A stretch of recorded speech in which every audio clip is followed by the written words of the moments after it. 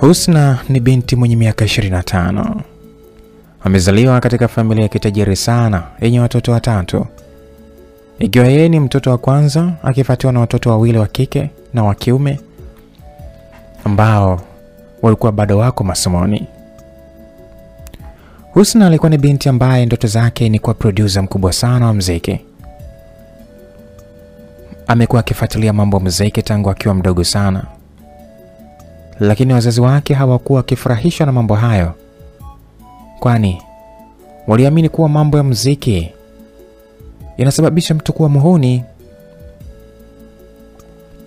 Kwa kuwa Husna alikuwa ni binti mwelevu na mnyenyekevu, hakupenda kuwaudhi wazazi wake, akaamua kujiunga na kozi ya udaktari, na kwa uwezo wa Mwenyezi Mungu akawa daktari mkubwa sana anaheshimika na nidhamu. Watu wengi walimpenda kwani alikuwa na heshima na kujali wagonjwa, lakini ndoto zake zilibaki pale pale za kuja kuwa producer. Siku ya Jumamosi, Husna akiwa nyumbani, kwani ni siku yake ya mapumziko, hivyo familia nzima ilikuwepo nyumbani, ikiwemo na wadogo zake. Ismail, niambie mdogo wangu, masomo anasemaje? ilikuwa ni swali ambalo Husna alimuuliza mdogo wake. Ah, kidogodogo tu, Mungu anasaidia. Lakini dada, kumbe sekondari ni kazi sana eh? We alafu ndo kwanza upo kidato cha kwanza, umeanza kusema ngumu. Kikubwa ujisomee sawa. Ah, na umwambie huyo, maana kila akirudi shule ni magemu tu kama unavyomwona eh? Si unaona hata leo siku nzima hajashika hata chochote, aliongea mama yake na Husna. Eh, mama, nimekumbuka nilituma barua ya maombi ya ruhusa, nimekubaliwa wiki moja, hivyo nimeona niende kijini kwa shangazi nikamwone kwanza, maana tangu mjomba afariki hatujaenda kutokana na ubize. Mm, umefanya jambo zuri sana. Yaani tangu kakangu afariki nimeshia kuwasiliana tu kwenye simu na wifi yangu. Sawa, nitaondoka kesho asubuhi. Pia nimemwagiza baba aniwekee vyakula kesho niondoke navyo kama zawadi. Alafu mama, nasikiti Mariamu amefeli mtihani wa kidato cha nne, yupo nyumbani tu eti. Eh, jamani, mbona wanafeli hivyo eh? Kaka yake alifeli, naye pia amefeli. Hatari sana. Nahisi watakuwa wanalima tu huko jamani. Eh, kakaangu watoto zake wote elimu imewatupa. Nitaongea naye kama anaweza kurudia, akikubali nitamsaidia. Mm, sijui kama atakubali maana umri umeenda. Yule alichelewa tu kumaliza shule. Walijadili mambo mengi sana, kisha mambo mengine yakaendelea. Asubuhi na mapema, ikiwa ni siku ya Jumapili, Husna alijiandaa na kuanza safari ya kuelekea kijijini, ikiwa ni mkoa wa Tanga vijijini kabisa. Alifanikiwa kufika salama na alipokelewa vizuri sana. Eh, Mohamed, niambie maisha yakoje hapa? Ah, dada Husna, niite tu Mudi. Kutaja jina lote, yani mimi unajipa kazi tu bure. Anyway, kuhusu maisha kipolepole tu anasonga kama hivyo, tunalima na mifugo, hiyo maisha anasonga. Ya, mafanikio hayajagi haraka, ila ukijituma basi mafanikio yanakuja kabisa. Mm, ndo hivyo. Vipi, shangazi yuko wapi? Uh, ah, unamtaja tu naye ndo huyo anatokea. Eh, eh, kweli maisha yake se, maisha yake ni marefu. Mm. Karibu Husna mwanangu. Eh, jamani, za muda mrefu leo umekuja. Asante shangazi. Eh, nimekuwa mwenyeji sasa, maana nimekuja muda mrefu, nimemkuta Mudi tu hapa. Eh, tulienda shambani mimi na Mariam. Si unajua tena maisha yetu bila kilimo hayaendi. Naona kabisa. Na mifugo inaongezeka sana. Ongereni shangazi. Ah, asante. Hiyo kazi ya Mudi bwana, hiyo anawalinda kweli kweli, yuko makini. Basi Husna na shangazi yake waliongea mengi na mwisho akakabidhi alichokileta. Kila mtu alifurahi, maana kulikuwa na vitu muhimu sana vya kukidhi maisha yao. Ikiwa ni majira ya usiku, wakipata chakula, shangazi yake na Husna akaanza, yaani Husna mwanangu, umri unaenda huo, vipi, hautaki kuolewa au ndo watoto wa mjini nyie mnasema mnakula maisha? Ah, hamna bwana shangazi, yaani mambo yamekuwa mengi, wanaume wenyewe wa mjini hata ah, hawaeleweki bwana, mpaka upate anayeeleweka. Yani na ukimpata anayeeleweka ni kazi sana shangazi, Hmm. Utapata tu. Hata mimi nilichelewa sana kumpata mjomba wako, lakini pia Mungu amewahi kumchukua. No, usiseme hivyo shangazi bwana, ni mipango tu ya Mungu na kila kitu kitakuwa sawa. Hmm. Wifi yangu yupo kweli, maana kama ametususa tangu kaka yake afariki hajawahi hata kuja. Ah, analikumbuka sana na yeye ndo ameniagiza nije huku, maana kazini hata ruhusa apate. Achana nayo shangazi bwana. Eh, vipi matokeo ya mamu? Muulize mwenyewe, si huyu hapo anakuangalia. Ehe, Mariam, majibu ya kidato cha nne anasemaje? Ah, sikufanya vizuri, lakini nitajituma kwenye mambo mengine. Eh, jamani, vipi unahitaji kurudia? Mm, Hapana, sitaki, nitabaki tu na kilimo kinatosha.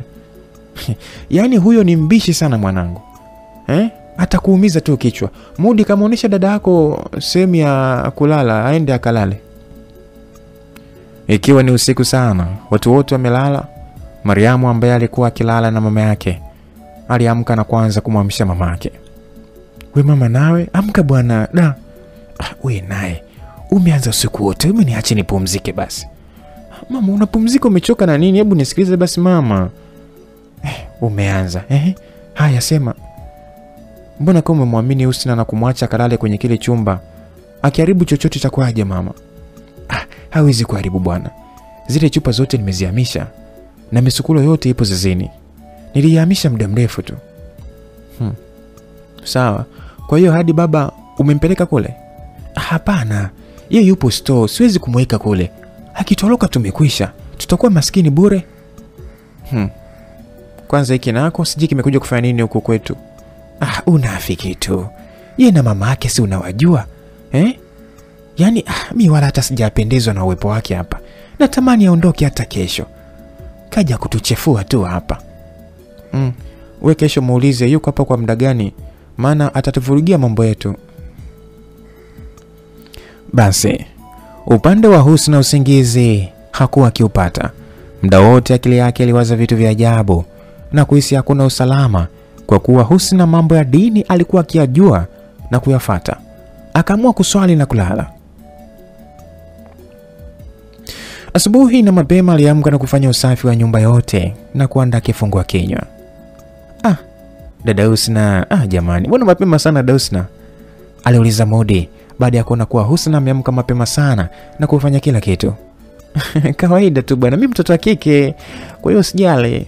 Mm, watoto wa kike wengine wamelala huko mpaka saizi ah, watakuwa wamechoka tu na mambo ya shambani jamani. Mm, hamna, hawana lolote hao. Kwa hiyo Mudi, unaenda wapi?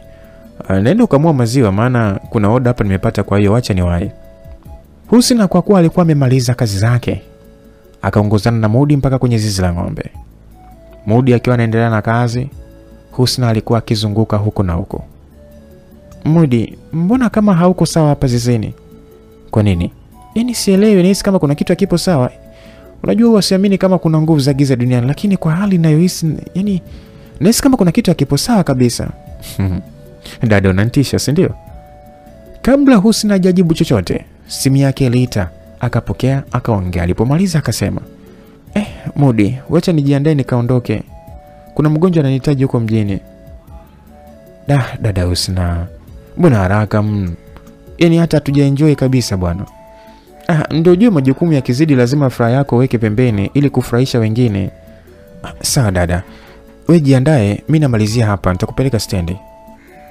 Husna alijiandaa haraka sana na kupaki begi lake kwa ajili ya safari. He, mbona na mabegi mwenzetu, vipi? Ah, shangazi, nimepata dharura huko hospitali inahitajika. Yaani hapa nilikuwa nakuja chumbani kwako kuaga. Eh, jamani, hawala hata hatujapiga stori kabisa. Nitarudi tu, wala usijali shangazi. Sawa, msalimie wifi yangu na baba yako na wadogo zako. Usijali, ngoja niwache. Haya, bai Haya mamu, mamu, najua tujaongea vizuri mpendwa, ila nitarudi sawa eh? Hmm, sawa. Basi Maudi alimsindikiza Husna mpaka stendi, kisha yeye akarudi nyumbani. Upande wa Mariamu na mama yake wakiwa wamekaa wanakunywa chai, wakawa wanaongea mm. hmm. chai ya leo ni babu kubwa, mayai yameongwa kama hivi, yani eh, chai ya kimjini mjini. Eh, akiandaa mtu chai ndo mnaiona nzuri. Yani da hivi da mariam huoni aibu mgeni amekuja yeye ndo anawafanyia hadi usafi jamani? Hmm. huyo mgeni mikono hana au huyo mgeni hawezi kufanya? Yaani sijui ukoje? Unamnyenyekea we au kisa anakaa mjini? Hmm. mawazo yako na yangu tofauti kabisa. Mama kuna kitu nahitaji kuambia maana mi na huyu kama tutarumbana bure. Hm, we naye kitu gani? Ah, yani mama na dada yangu mimi hata siwaelewi. Yani mi naongea kiupole lakini nyewe mnanijibu yani kama tuna ugomvi. Ah, anyway, lakini tuachane nayo bwana. Dada usi na leo nilipokuwa nakamua maziwa ya ng'ombe nilikuwa naye kuna vitu yani aliongea sikumwelewa vitu gani? Na kwa nini kwanza umempeleka zizini eh? ah, mama we nawe. Kwa hiyo sasa ulitaka asiende eh? si anaangalia tu mazingira jamani au hata hivyo alikuwa anasema kuwa zizini hakupo sawa yani kama kuna nguvu za giza we ishia hapo hapo yaani Husna ni msomi lakini anaamini vitu kama hivyo eh? kwanza nguvu za giza zinakujaje kujaje nyumbani kwangu eh? Eh? ikiwa na swali swala tano nyumba yangu nimeikinga kwa ibada zangu za kila siku hmm. jamani mama mbona kama umepaniki modi akaona isija kwa tatizo akachukua ng'ombe zake na kuondoka nao malishoni upande wa husna alifanikiwa kufika dar es salaam moja kwa moja akaenda hospitali ambapo alipigwa simu eh, Dr. Husna, si tumeambiwa upo likizo wiki moja? Ndiyo, lakini nimepigiwa simu, kuna mgonjwa anahitajika, nikaona nije tu, nitachukua likizo nyingine. Ah, ni nani amekupigia? Dr. Niki. Wewe Husna, nawe unapenda kujaga kazini tu. Yaani nimetoka ofisini kwa Dr. Niki sasa hivi ndo ananipa hiyo taarifa kuwa upo likizo. Sasa nakuaje tunasema amekuita? Husna akaona kama anamchanganya moja kwa moja akaelekea kwenye ofisi ya Dr. Niki. Eh, Husna, vipi tena mama? Ushamis kazi? Ah, jamani mbona mnanichanganya nini jamani? Kivipi? yaani nimetoka mkoani kwa haraka ili niwahi huku. Wewe umenipigia simu kuti kuna mgonjwa ananihitaji. Mimi? Mimi huyu? Hapana, wala mi sijakupigia simu bwana. Ah, wewe mimi kabisa. Sijakupigia simu mama siku nzima. Kwa uthibitisho, Husna akatoa simu ili amwonyeshe cha ajabu, wala hakuona kwamba amepigiwa na simu ya mwisho ilikuwa ni ya mama yake ambaye alimpigia usiku sana na kumuuliza kama amefika salama. Da, pole sana Husna, unajua huruma yako kwa wagonjwa ndo inakufanya hivyo, lakini sikukupigia, unaweza kwenda kupumzika. Kwa unyonge, Husna akaondoka, lakini bado kichwa chake kilikuwa na maswali mengi sana, lakini akaamua achane nayo. Hata nyumbani kwao walimshangaa aliwahadithia alivyokuwa, lakini kila mtu akamwambia kuwa kwa sababu anaipenda sana kazi yake. Usiku akiwa anapata chakula kwa pamoja, mdogo wake Husna ambaye yuko kidato cha kwanza akasema, dada Husna, leo alikuja mtu hapa nyumbani, lakini alishia hapo getini, kwani aliona mimi akanipa huu mzigo nika ni- kwamba eti nikupatie. Mtoto huyo akatoa kadi nzuri sana iliyopambwa kwa ustadi wa hali ya juu. Husna alipotaka kupokea, mama yake akaiwahi. Aliwahi kwa haraka na kuifungua na kusoma kilichoandikwa. Una bahati, nikajua ni mambo ya wanaume. Kwani ni nini hiki? Aliuliza baba yake Husna. Ah, si mambo yake yao ya mziki, sijui anaalikwa kwenye pati, sijui kutakuwa na maprodusa wengi, ndo amemtumia mwaliko. Husna aliposikia hivyo alinuka na kuanza kurukaruka kwa furaha sana. Eh, ila dada Husna, mbona mambo ya mziki unapenda sana? Kama wewe ambavyo unapenda kuwa mwanasheria, ndo mi ninavyopenda kuwa producer mkubwa sana wa mziki. Inshallah nitafanikiwa. Na ukija kuwa mtu wa mziki, itakuwaje kuhusu ugonjwa wako sasa? Ah, wapo madokta wa kuhudumia, ila nikihitajika sana basi nitaajibika. Muda wote huo maongezi akiwa anaendelea, baba yake na Husna alikuwa akimwangalia Husna kwa hasira sana, kwani hakuwahi kupenda chaguo la Husna hata siku moja. Kwa jaziba akanyanyuka na kuondoka. Mhm. Kierere tu. Haya, alivyosusa na kuondoka ndo umefurahi, si ndio? Eh, jamani mama, sasa mimi nimefurahi kitu gani mama eh? Mimi hata siwaelewi, kwani mambo ya mziki yana matatizo gani jamani? Mi nimefanya mlichokihitaji, lakini bado tu ni sawa. Kama yeye ameshindwa kula kwa ajili yangu, hata mimi siwezi kula. Alimaliza Husna na kuondoka zake. Asubuhi na mapema, baba yake na Husna aliamka na kupata kifungua kinywa akiwa na watoto wake wale wadogo. Walipomaliza wakaanza safari ya kuondoka, yeye akiwa anaelekea kazini na wale watoto shuleni. mwambie Husna nimkute, ole wake aende huko kwenye pati zake ambazo hazina hata mwelekeo. Akienda basi hakikishe kuwa hapa hatarudi kabisa.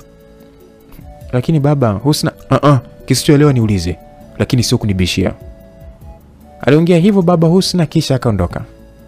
Muda ambao Husna alikuja kuamka ilikuwa ni saa sita mchana. Akaoga kisha akala na kumfata mama yake. Mama, baba alikuwa bado amechukia au? Eh, amechukia sana. Mpaka leo asubuhi amesema usiende kwenye hiyo pati.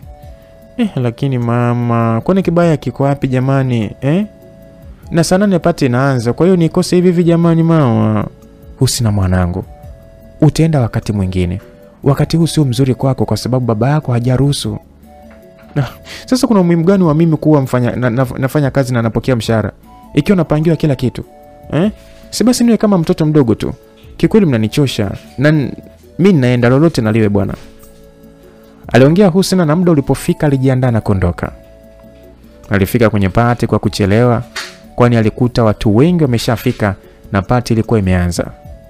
Alipofika alipokelewa kwa bashasha sana, kwani alikuwa akijulikana sana, kila mtu alikuwa akimpenda Husna. Ah, karibu Husna, sikujua kama utakuja siku ya leo, yaani da, nimefurahi. Ah, umeletea hadi kadi nyumbani jamani, ni upendo wa hali ya juu. Kwa hiyo sikuona sababu ya kukuangusha ikiwa naweza kuja, ingawa sikupewa ruhusa. Ah, pole sana. Ina maana bado wazazi hawakuungi mkono kuhusu kazi yako mziki? Unajua Husna, wewe ni producer mkubwa sana, yaani sema tu unajificha ficha, kila mtu anakubali sana kazi zako. Ah, yaani nahisi leo itakuwa mara ya mwisho mimi kushiriki mambo ya mziki, na studio yangu nitakukabidhi mpaka pale wazazi wangu watakapokubali. Da, pole sana, lakini leo na surprise yako bwana. Nimekuletea producer mkubwa wa Nigeria, nataka kukuona. Alipenda ile beat yako kwenye nyimbo ya Msami. Kwa shauku na furaha, Husna akawahi kwenda kumwangalia huyo producer. Upande wa shangazi yake na Husna wakiwa shambani na Mariamu walikaa chini wakila matunda ambayo yalikuwa yakidondoka. Wewe palilia vizuri, aliongea mama yake na Mariamu, lakini hakukuwa na mtu ambaye alikuwa akionekana. Na muda huo huo Mudi aliwasili eneo hilo. Mama, unamwambia nani apalilie wakati wote mmekaa chini? Ah, we nawe sinamuhimiza huyu cha uvivu wangu ainuke hapo chini, maana amekaa muda mrefu. Haya, mi narudi nyumbani, maana kuna jua sana. Wacha nikapumzisha hawa ng'ombe. Sawa, kachemshe viazi basi. Baada ya kuambiwa hivyo, Mudi aliondoka. Mama, nawe unaropoka sana, hata uangalie yani. Eh, we nawe sasa, mimi nilijua kama atatokea hapa eh, si ameshtukiza tu. Hmm. Haya, we endelea kuongeongea tu na unajua, na unajua kabisa sisi ndo tunawaona tuna ila wengine hawaone. Sasa unaropoka ropoka tu. Ah, we nawe kwenda naye bwana. Upande wa Husna alikutanishwa na produsa huyo wa Nigeria. Alifurahi sana, aliona kabisa ndoto zake zinaenda kutimia. Oh, ndo Husna wewe? Yes, ndo mimi. Na wewe ni nani? Uh, wache kunichora basi eh? Unaanzaje kutonijua? Ah, nakutania tu bwana, mi nisikujue wewe paksi kama paksi eh? Wow, nice to meet you. Nice to meet you too. Basi waliongea mambo mengi sana na wakajikuta wanakuwa watu wa karibu zaidi. Sasa kulichangamka sana, mziki ulikuwa ni wa hali ya juu mpaka Husna akajikuta na sahau kwamba hakupewa ruhusa ya kuja huko. Majira ya saa sita usiku pati iliisha na kila mtu akaanza kuondoka, lakini Husna hakuwa anakumbuka funguo ya gari alikoiweka. Kwa kuwa ilikuwa ni sehemu salama penye ulinzi, akaamua bora aache gari hapo achukue taksi kwa ajili ya kuwahi nyumbani. Naweza kukupeleka? Hapana Paksi, unaweza kwenda pumzika. Ah, nakupitisha tu jamani, then naondoka, usikatae please. Alikuwa ni Paksi ambaye aliomba ampe lifti Husna itakayomfikisha mpaka kwao. Husna bila hiana akapanda gari la Paksi na kuanza safari moja kwa moja. Ilipaki nje ya geti la kina Husna, kisha Husna akashuka na Paksi akashuka, wakaagana. Husna alipoanza kupiga hatua, Paksi akadaka mkono wa Husna na kukis, na tukio hilo lilishuhudiwa na baba yake Husna ambaye alikaa nje kumsubiri Husna. Basi Husna kwa aibu akakimbia. Mlinzi bila kuchelewa akafungua geti, ila alishangaa sana kuona Husna narudi bila gari. Paksi alibaki akimshangaa Husna huku akicheka alipohakikisha kuwa Husna ameshaingia ndani kwa usalama, naye akaanza kuasha gari. Ghafla kijana, e, e, yes, shikamo. Marahaba. Huyu binti unamfahamu? Uh, ndiyo namfahamu. Pia ni mtu anayejulikana sana mzee wangu, maana ni dokta mzuri hapa da, pia ni producer anayesapoti watu wengi. Inaonekana unamjua kiundani zaidi. Uh, sana kwa kuwa Suni anaenda kuwa mke wangu, ndio maana namjua sana. Mm, shukrani kijana. Paksi alikuwa akijimwaga na kujieleza sana bila kujua alikuwa akiongea na baba yake Husna. Basi Paksi akawasha gari na kuondoka.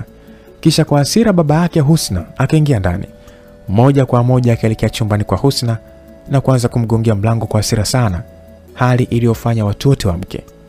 E, jamani, baba Husna, kuna nini tena? Mbona unamburuza mtoto kiasi hiko? Mtoto nani hapa eh? Mtoto nani hapa? Yesi si, si, si ana nyumba yake, amekuwa mtu mzima sasa, si ndio? Anapanga mpaka mambo ya harusi bila hata kutuambia. Kwa hiyo ina maana na wazazi wengine, si ndio? Baba, unaongea kuhusu nini jamani? Kimya, mpuzi wewe. Najuta kwanza kukusomesha toto kama hili, ni toto ambalo halijielewi. Husna alipigwa sana usiku huo, huku wadogo zake wakishuhudia. Aliona aibu sana, pia alijisikia vibaya. Inatosha baba, inatosha, umenipiga vya kutosha. Sasa hebu nikuulize, kosa hilo ni, ni hilo tu la kwenda kwenye pate au na sababu zako zingine? Ah. Ah. Unaniuliza kama unavyoongea na muuni wako eti eh? Eh? Husna alibaki akishangaa tu, maana hakuwa anaelewa. Kwani ah, dharau kabisa. Yaani umeamua ugawe gari huko, alafu uje unionyesha dharau kuwa hata wewe una wanaume eh? Tena mwanaume anakukisi mbele yangu bila aibu, sio? Hebu eh, baba usi natulia kwanza. Unajua unaongea mambo ya aibu mbele ya mtoto na mbele ya watoto hawa hapa jamani. Kwa nini baba Usna?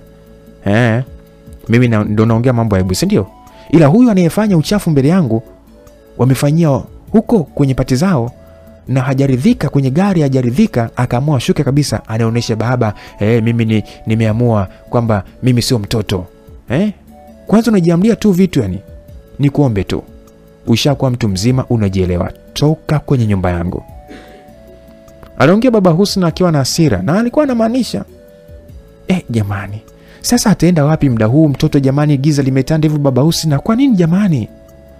Bila kujibu, baba Husna alimshika mkono Husna na kuanza kumvuta kuelekea nje. Alimvuta mwisho, Husna akajitoa mikononi kwa baba yake kwa hasira. Nitaondoka mwenyewe, hauna haja kupata dhambi ya kumfukuza binti yako ambaye hana heshima. Siwezi kuendelea kukaa hapa ikiwa na kuvunjia heshima na sifati masharti yako. Nitaondoka. Nakupenda sana mama. Ismail na Karate. someni sana ndugu zangu, sawa? Mje mjitegemee. Aliongea Husna kwa uchungu mno, kisha akaondoka. Mama yake alibaki akilia tu. Kisha baba yake Husna akawaamuru waingie ndani. Ulikuwa ni usiku wa huzuni na simanzi kwa mama na wadogo zake Husna. Upande wa Husna alianza kuzunguka huku na huku, asijua anaenda wapi, maana hakuelewa afanye nini. Aliweza kuwa aende kwa marafiki zake ama, lakini akaona kuwa ni kumchafulia jina baba yake au hata yeye mwenyewe, kwa kuwa alikuwa na pesa kiasi. Akaamua bora akalale hotel. Bila kupoteza muda, akachukua chumba cha hotel na kujihifadhi humo. Asubuhi na mapema aliamka na kukabidhi chumba, huku mawazo yake akiwa ni kufata gari yake ambayo aliacha kwenye pate. Taksi, taksi! Alikuwa ni Husna ambaye aliona taksi akawa anaitilia, lakini ghafla ilipaki gari ambayo haikuwa ngini machoni pake. Oh, paksi Ya, panda basi, naona ulikuwa unaita taksi hapo. Hapana bwana, wewe na safari zako. Kwa nini sasa? Uh, mi na safari zangu, nawe unaweza kwako. Nahisi safari yetu ni moja. Mi nilikuwa nawahi pale kuangalia funguo yako, maana watu wanaweza fanya usafi wakaiona wakafanya mambo ya ovyo. Una kierere sana we. Kwa nini sasa? Muda huo Paksi alishuka na kuanza kumfosi Husna apande kwenye gari. Kwa kuwa ilikuwa ni mbele za watu, Husna aliona aibu sana, akaamua bora apande kukatisha hiyo sinema, maana kila mtu alikuwa akiangalia. Kwa nini ulikuwa utaki kupanda jamani? Au mimi shanisahau? Ah, no, tatizo sio kukusahau, tatizo sipendi matatizo. Basi Husna akamweleza kila kilichotokea. Huku akilia na kuanza kumwonyesha alama ambazo alizipata kutokana na kipigo cha babake. Ah, very sorry. Da, sikujua kama ni baba yako, maana alikuwa akiniuliza maswali na nilimjibu, kumbe nilikuwa nachochea moto. Da, pole pole sana pia kwa kukisi bila ruhusa yako. Da. Muda huo Husna ndo kilio kiliongezeka. Kama unavyojua tena, ukiwa na maumivu yako alafu mtu akupe pole yani ndo kama anatonesha vile kidonda. Lakini kwa nini ulinikisi eh? Ah, For real, I love you so much and I want to marry you. Basi upande wa shangazi yake na Husna kule kijijini akiwa ameamka na amependeza, ikionyesha kuwa na safari. Hmm. Sasa mama, hawa wamekuitia nini huko mjini? Eh, mimi hata sijui, wacha nikajue, maana inaonyesha kuna tatizo. He, sasa Kilingeni utaomba ruhusa? Hapana, nitakuja. Kwa inachukua muda gani mimi kutoka da mpaka hapa? Na usafiri wangu halisi jamani, si unaujua kabisa. Ghafla Mudi akawasili eneo hilo. Mama, usafiri gani wa asili unaozungumzia na kilingi gani mnachokiongelea? Lilikuwa ni swali ambalo aliuliza Mudi na kuwaacha wakiwa hawajui wajibu vipi. Ah, we nawe, mbona unakuwa unaongea vitu vya hovyo eh? Nimemwambia vitu vya asili ndo maana avilinde. Sasa wewe kilinge na usafiri wa asili umesikia wapi? Haya Hmm. Mama, isiwe kesi, nisamehe, ila uwe na safari njema. Wasalimie wote. Sawa, Mariam, naomba ukae vizuri na kaka yako, sawa? Hmm, Sawa, bai mama. Waliagana kisha yule mama akaondoka. Upande wa Husna alibaki mdomo wazi akiwa haelewi amjibu nini Paksi ambaye alionekana kumaanisha alichokiongea kwamba anampenda, anahitaji kumwoa. Subiri nikwambie Husna, kwa wewe unaweza kusema tumejuana muda mfupi, lakini nimekujua kwa muda mrefu kupitia huyo rafiki yako aliyetukutanisha. Amekuwa akinipa taarifa zako kila hatua na nimekupenda tangu muda. Ndio maana nilipopata chance nikaja huku kwa ajili yako, na wazazi wangu wanajua kabisa kila mtu anakujua, ingawa kupitia picha tu eh, lakini mm -mm, haina haja ya kunijibu sasa. ili ni jambo kubwa. Kaa chini, fikiria kwa makini ili unipe majibu ya uhakika. Basi waliongea mengi sana, kisha wakaanza safari ya kwanza kufata gari.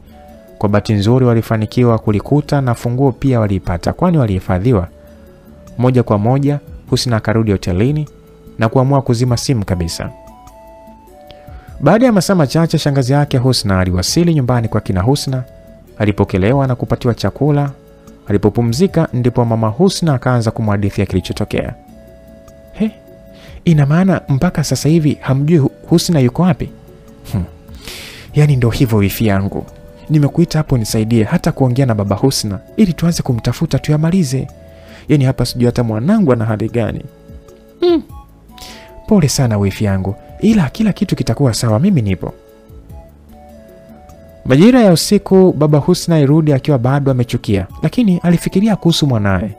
Alijaribu kumpigia kila dakika, lakini hakupatikana, jambo ambalo lilimwongezea wasiwasi zaidi. Baba Husna, wifi amekuja, yupo hapo sebleni, ila kwanza kaoge ndo uje huku chini. Sijisikii kabisa, ila mwambie nitakuja. Sawa. Shangazi yake Husna aliingia chumba ambacho alitakiwa akalale. Moja kwa moja akiingia bafuni na kupiga simu. Vipi Mariamu, mmeshindaje? Kisha akasikia sauti upande wa pili wa simu. Salama mama, ulifika salama? Eh, nashukuru nimefika salama, ila nimekupigia nikupe umbea. Husna jana akapigwa na baba yake na amefukuzwa kabisa. He mama, hapo ndo penyewe. Tengeneza chuki zaidi, alafu mi nakuja kuharibu kabisa hapo, ili waweze kuvurugana kabisa. Mama, usijali, tutaongea vizuri nikiwa kilingeni. Muda wa chakula cha usiku, wakiwa nakula, mama Mariam alijaribu sana kuongea. Baba Husna alipomwona kuwa anaanza kuelewa na kujisikia vibaya kuhusu alichomfanyia Husna, shangazi akageuza rangi ya macho yake ambayo yalitoa mwanga mweupe moja kwa moja ukamwingia baba Husna ghafla. Nimesemaje? Husna mwanangu, mimi nimemsomesha, mimi nimempatia kila atakacho, na mimi ndo nimemfukuza. Nitamrudisha nikihitaji, sitaki mjadala na wewe. Unaweza kurudi kijini, sawa? Aliongea hivyo baba Husna na kuondoka. Baada ya wiki moja, Husna akiwa amekubali ombi la paxi akaona bora waende nyumbani wakayamalize ili mambo yawe sawa. Lakini mambo hayakuwa mazuri, kwani shangazi akatumia uchawi wake kuongeza chuki kati ya Husna na baba yake. Kwanza sikutaki hapa, ni nyumbani kwangu, na huyu mwanamuziki wako simtaki, naomba muondoke, sawa? Ah, siwezi kuondoka hapa, nitaondoka nikiwa nishaolewa, naondoka nikiwa na haki zote kama mtoto wa kike, hakuna mjadala. Aliongea hivyo Husna na kumshika mkono Paksi mpaka chumbani kwake. Husna, hii sio sawa kabisa ulichokifanya. Ah, Paksi, usiwe na wasiwasi, huyu ni baba yangu, nitamalizana naye na nakuomba kama unanipenda ubaki hapa na mimi kwa ajili ya kunisapoti. Mm, Husna, inawezekana vipi? Mara ikasikika sauti mpya na hakuwa mwingine bali ni mama yake Husna. Paksi, msikilize Husna, utabaki hapa kwa ruhusa yangu. Paksi hakuwa na pingamizi, alikubali. Upande wa shangazi yake Husna alichukia sana, haswa kuona mwanaume tajiri kutaka kumwoa Husna ambaye naye kimaisha alikuwa akijiweza. Ikiwa ni usiku sana, shangazi yake Husna aliamka na kujiandaa kwenda kwenye kilenge cha wachawi wenzake. Alifika huko na kuanza kuomba msaada. Jamani, nina shida. Yule mtoto wa ifi yangu amesoma sana, ana pesa za kutosha, alafu anataka kuolewa na mwanaume mwenye pesa. Naomba mnisaidie, mwanangu Mariamu aolewe na huyo mwanaume. Basi akaonyesha picha ya Paksi mbele ya wachawi wenzie, na Mariamu kwa haraka akakubali na kudai kuwa hata yeye ameshampenda. Mm, anaonekana na nyota kali sana, kwa hiyo kumbadilisha akili ni shida sana. He, je, kumuoa Husna? Aliuliza Mariamu kwa shauku. Kisha kila mtu akamwangalia mwenzie na kucheka kwa sauti ya juu. Kweli Mariamu, umekuiva mama, na una mawazo ya mbali, jitahidi sana. Hmm, asante sana kwa kuwa wewe ndo umetoa wazo, basi hiyo kazi tutakuachia wewe, kwenye ugumu utatujurisha. Sawa sawa, mkuu. Walimaliza kikao chao cha kichawi, kisha wakatawanyika.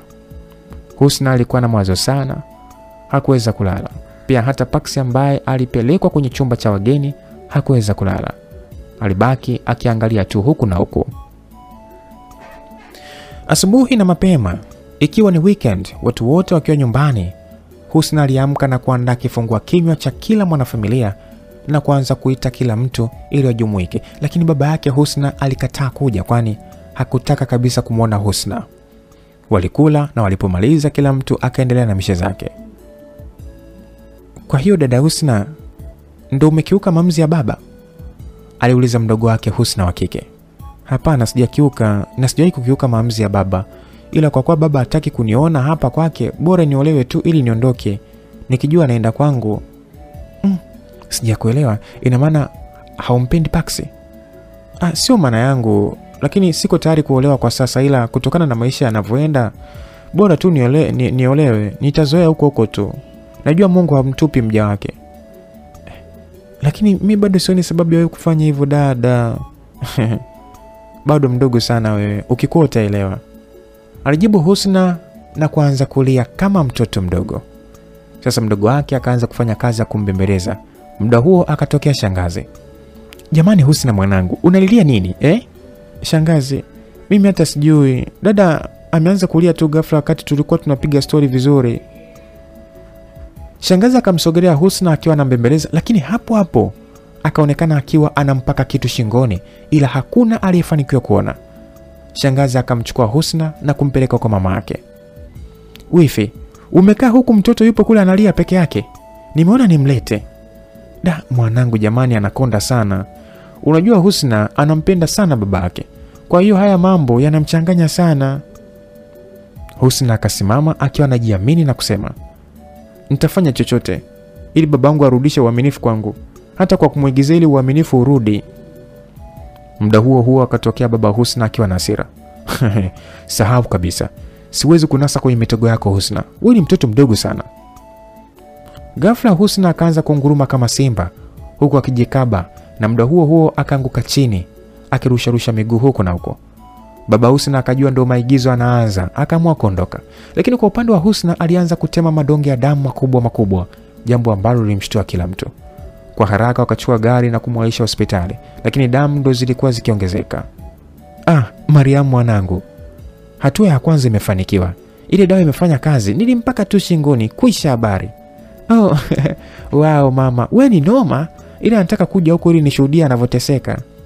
Mm, Nitakujulisha, we subiri tu, ngoja nikajue kwanza dokta amesema nini. Kwa upande wa mama Husna alikuwa akilia, watoto wake walibaki wakimbembeleza.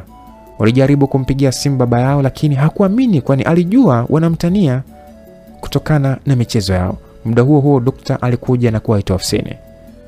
Uh, mama Husna, poleni sana kwa hili, na tumejitahidi sana, damu zimesimama, yani hazitoki, lakini tunashangazwa, anaonekana haumwi chochote. Eh, jamani dokta, hebu mpimeni kila kitu, hata kansa, maana mwanangu anaumwa seriously. Muda wote huo Paksi machozi yalikuwa anamtoka kwa Zamzam. Ghafla simu yake ikawa inaita. Kwa heshima akatoka nje na kwenda kupokea. Yes mama, za huko salama tu, mbona kama sauti yako haiko sawa? Kwa kilio cha kwikwi, Paksi akaanza kuelezea. Yaani mama, uwe ache tu, Husna anaumwa sana na ameanza ghafla tu. Alielezea hali halisi na mama yake akadai kuwa atakuja kumwona, yaani atatoka Nigeria na kuja Dar es Salaam kwa ajili ya Husna. Baada ya siku mbili, Husna akiwa bado hajazinduka, mama yake Paksi aliwasiri Dar es Salaam. Pia Mariam pia alitoka kijijini na kuja da kwa kisingizio tu cha kumwaguza Husna. Mm, Paksi mwanangu, hali ya Husna sio nzuri kabisa, yaani ndio maana nimekuita tuongee pembeni. Mm, nakusikiliza mama. Kwa umri wangu na uelewa wangu, naona kabisa ugonjwa wa Husna sio wa kawaida. Mm, unamaanisha nini mama? Ah, kuna nguvu chafu zimetumika, ndio maana mpaka leo dokta anasema kuwa Husna hana ugonjwa wowote. Lakini mama, mimi hivyo vitu wala siviamini, pia hata wao hawataweza kuamini. Mimi siamini, lakini kumbuka nilibakiziwa mikoba na mama angu, ingawa sitaki kuitumia, lakini uwezo wa kujua ninao.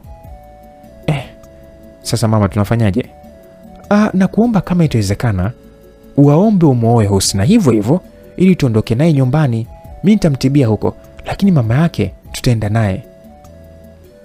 Eh, msubiri nijaribu kama watakubali mama. Wakiwa wanaongea hayo yote, Mariamu na mama yake waliweza kusikia. Du, aisee, Mariamu, kabla mambo hayajaharibika ni bora tumalize kazi kabisa, maana wa Nigeria sio watu wepesi. Upande wa mama Husna akirudi nyumbani kwa ajili ya kuzungumza na mme wake ambaye bado alikuwa haamini kuwa Husna anaumwa kweli, na ukizingatia majibu ya dokta amesema kuwa hana ugonjwa wowote.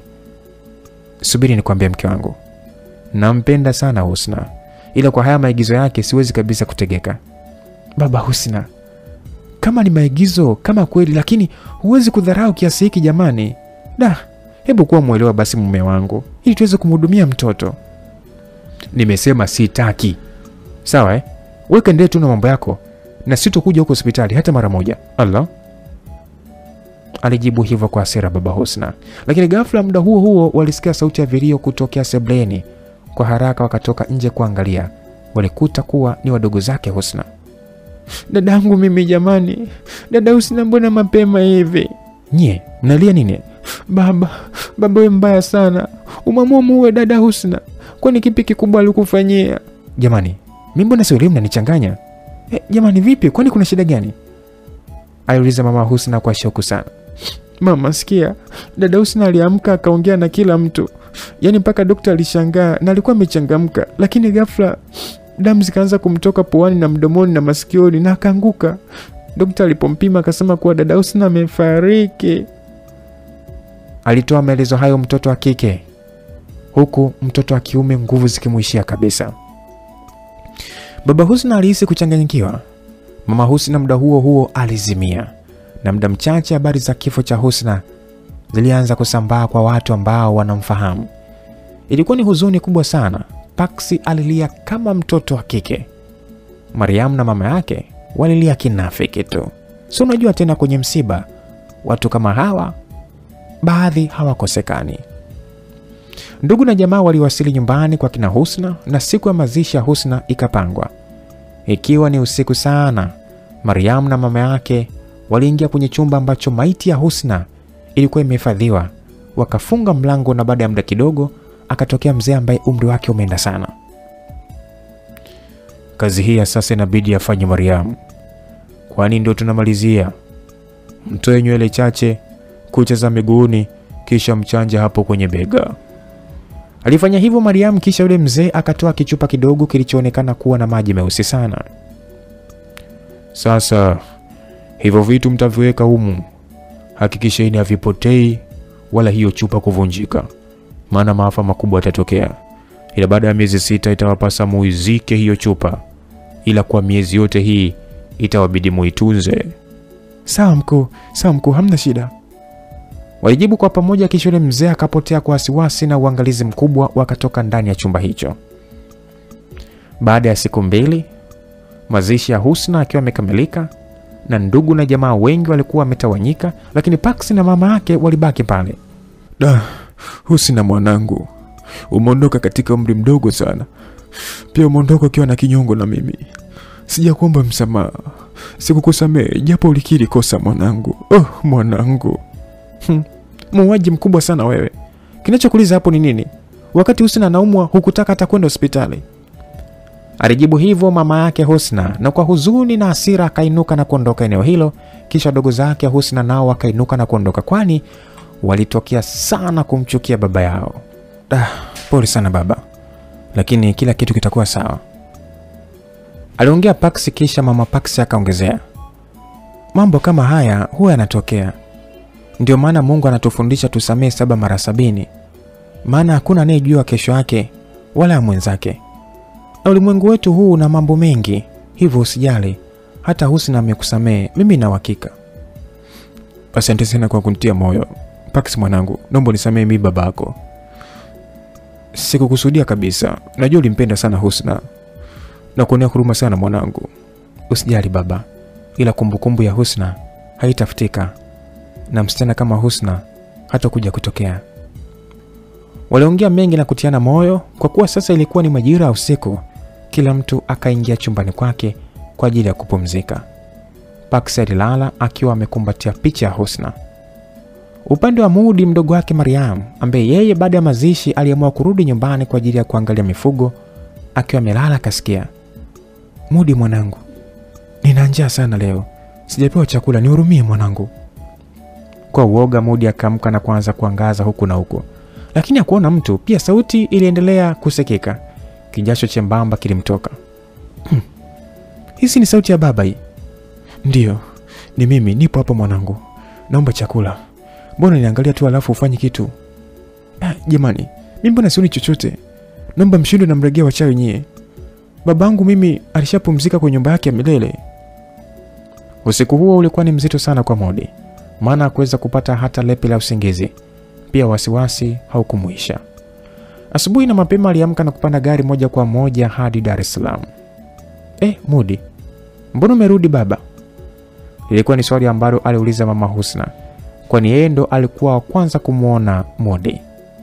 Ah, shangazi, yaani nimekuja huku maana nahisi nitakuwa na huzuni sana. Pia Ismail ni mwanaume mwenzangu, kwao hiyo nimeona niwe karibu yake kumfariji. Sawa, karibu. Wapo ndani wanapata chakula cha mchana. Naona umefika wakati mwafaka. Asante sana. Majira ya jioni, Paksi akiwa amekaa na mama yake chumbani, ghafla mama yake akafunga milango yote vizuri na vioo vya madirisha. Paksi mwanangu, nilikuambia kuwa Husna haumwi, sio? Na nilihitaji kumuuguza. Ndiyo, lakini ndo ameshafariki hivyo mama.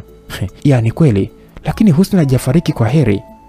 Hata mimi sababu sijui, lakini naweza kufanya kitu. Naomba nisaidie. Kitu gani mama? Au ndo ushaanza sasa kutumia uganga wako? Ah, kama unahitajika kwa mema, basi nitautumia na nimeshatumia. Nimeweza kujua kuna kichupa humu ndani kitatusaidia kazi yangu. Mm, mama wewe jamani, sasa utaki, ut, ut, ut, ut, utakipataje hicho kichupa? Ah, nitakipata tu tena kikiwa hakijapasuka. Basi mama Paksi akamwelekeza Paksi mahala kilipo hicho kichupa. Paksi akaidi kwenda kukichukua. Jamani, jamani, simu yangu sioni, niliweka hapa chaji, nani amechukua? Ilikuwa ni swali alilouliza Paksi mbele za watu wote ambao walikuwa wamekaa sebleni. Mm, kwani ukondoka nayo? Hapana, niliacha hapa. Basi wakaanza kutafuta huku na huku, walipiga bila kupatikana. Kwa kuwa sasa walikuwa akimpenda sana Paksi, akipewa ruhusa ya kusachi kila kona na kila chumba, ingawa Paksi alikataa, lakini baba Husna akamsii aangalie, maana watu wako mchanganyiko. Basi walianza kutafuta, na walipofika chumba cha mariamu na mama yake walikuwa na wasiwasi sana. Paksi alisachi kwenye mabegi yao na kukuta kichupa, akachukua na kuweka mfukoni, kisha akaweka kichupa kingine kinachofanana na kile. Ah, hata huku pia hamna jamani, aliongea Paksi baada ya kuona kuwa mambo yake yamekaa sawa. Ah, ile itapatikana tu, usijali. Sawa mama. Mariam na mama yake haraka wakaenda kuangalia kichupa chao. Eh, afadhali kipo kizima na hakijavunjika. Mm, ina maana hajakiona au? Ah, itakuwa akaona, na hiyo rangi labda akajua ni dawa tu. Ah, wote ni marofa tu, wapuuzi hawa, bado kuwafanya wawe maskini tu. Mwanangu, ukiolewa na Paksi unaenda zako Nigeria kuenjoy. Hmm. Yaani itakuwaje mzuri makeup kila siku mama? Hmm? Ushaanza kabla hata hatujafanikiwa. He? He. Hivi mama, kwa nafikiri kwamba mimi nitafeli? Hapa mimi nishafaulu. Majira ya usiku Pax aliamka na kuondoka kwa kisingizio kuwa kuna mtu anataka kutoa nyimbo, hivyo kama producer anatakiwa kuwepo, hivyo kila mtu akaamini. Majira ya saa sita usiku Paksi moja kwa moja akafika katika kaburi la Husna na kuongea maneno ambayo mama yake alimwambia aongee, na alipomaliza alifungua kile kichupa na kumwaga yale maji meusi, na alimwaga kila kona kaburi lake, na kichupa akachomeka katikati ya kaburi. Alilia sana Paksi pale. Upande wa nyumbani kwa kina Husna, upepo mkali ulianza kuvuma ukiwa na sauti kubwa sana iliyofanya watu wasielewane wala kusikilizana. Madirisha na milango ilianza kufunguka kwa nguvu na kujibamiza, huku vumbi zito likiingia ndani, jambo lililoleta wasiwasi kwa kila mtu. Jamani, kwani milango na madirisha situlifunga au? Nashangaa jamani, upepo sijui aina gani huu. Eh, hebu tuache kuongea na tufunge milango na madirisha, lakini hali inaogopesha sana. Lakini muda huo huo ghafla akaingia Paksi akiwa na hema sana na alionekana kuwa na wasiwasi wa hali ya juu. He, nini shida Paksi? aliuliza mama Husna.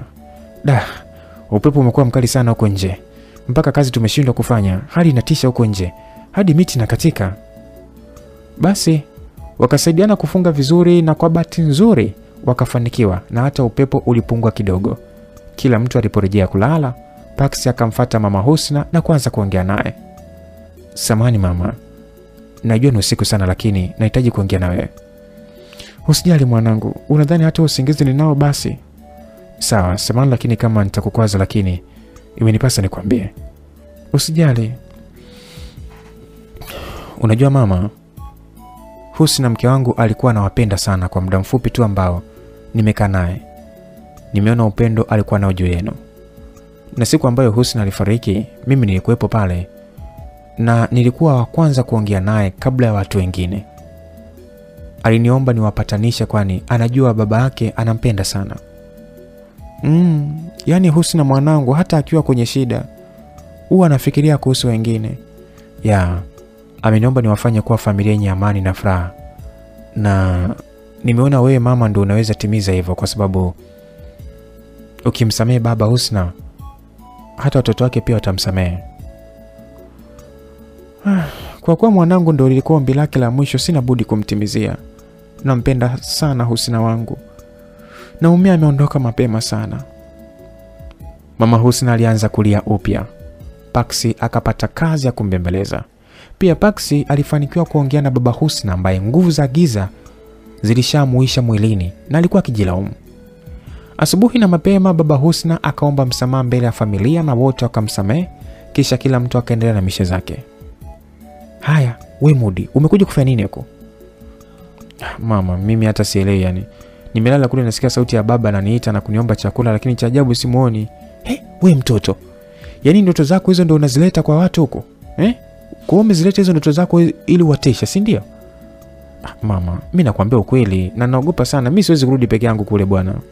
He, dume zima uoga tu. Utaondoka kesho na Mariamu. mi wache niendelee kuwafariji wanafamilia. Sawa. Majira ya mchana, mama Mariam alikaa na mama Husna na kuanza kumwambia, wifi yangu, nina shida na kiasi kidogo cha fedha, maana mifugo yangu na mazao inaharibika kwa ajili haina dawa. "Mm, Usijali, nitakupatia, maana Husna ameacha fedha nyingi sana, na ndoto yake ilikuwa ni kutengeneza kituo cha watoto yatima. Nitatimiza ndoto zake na nyingine, na ilikuwa ni kukusaidia tu. Asante wifi yangu. Yaani Husna wangu jamani, alikuwa akinipenda sana shangazi yake. Da, nami nahuzunika sana.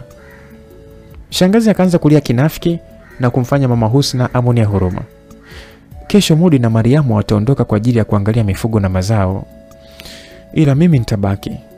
Hapana jamani, naomba Mudi abaki kama itawezekana, lakini ah, sawa, ni wewe tu ukitaka.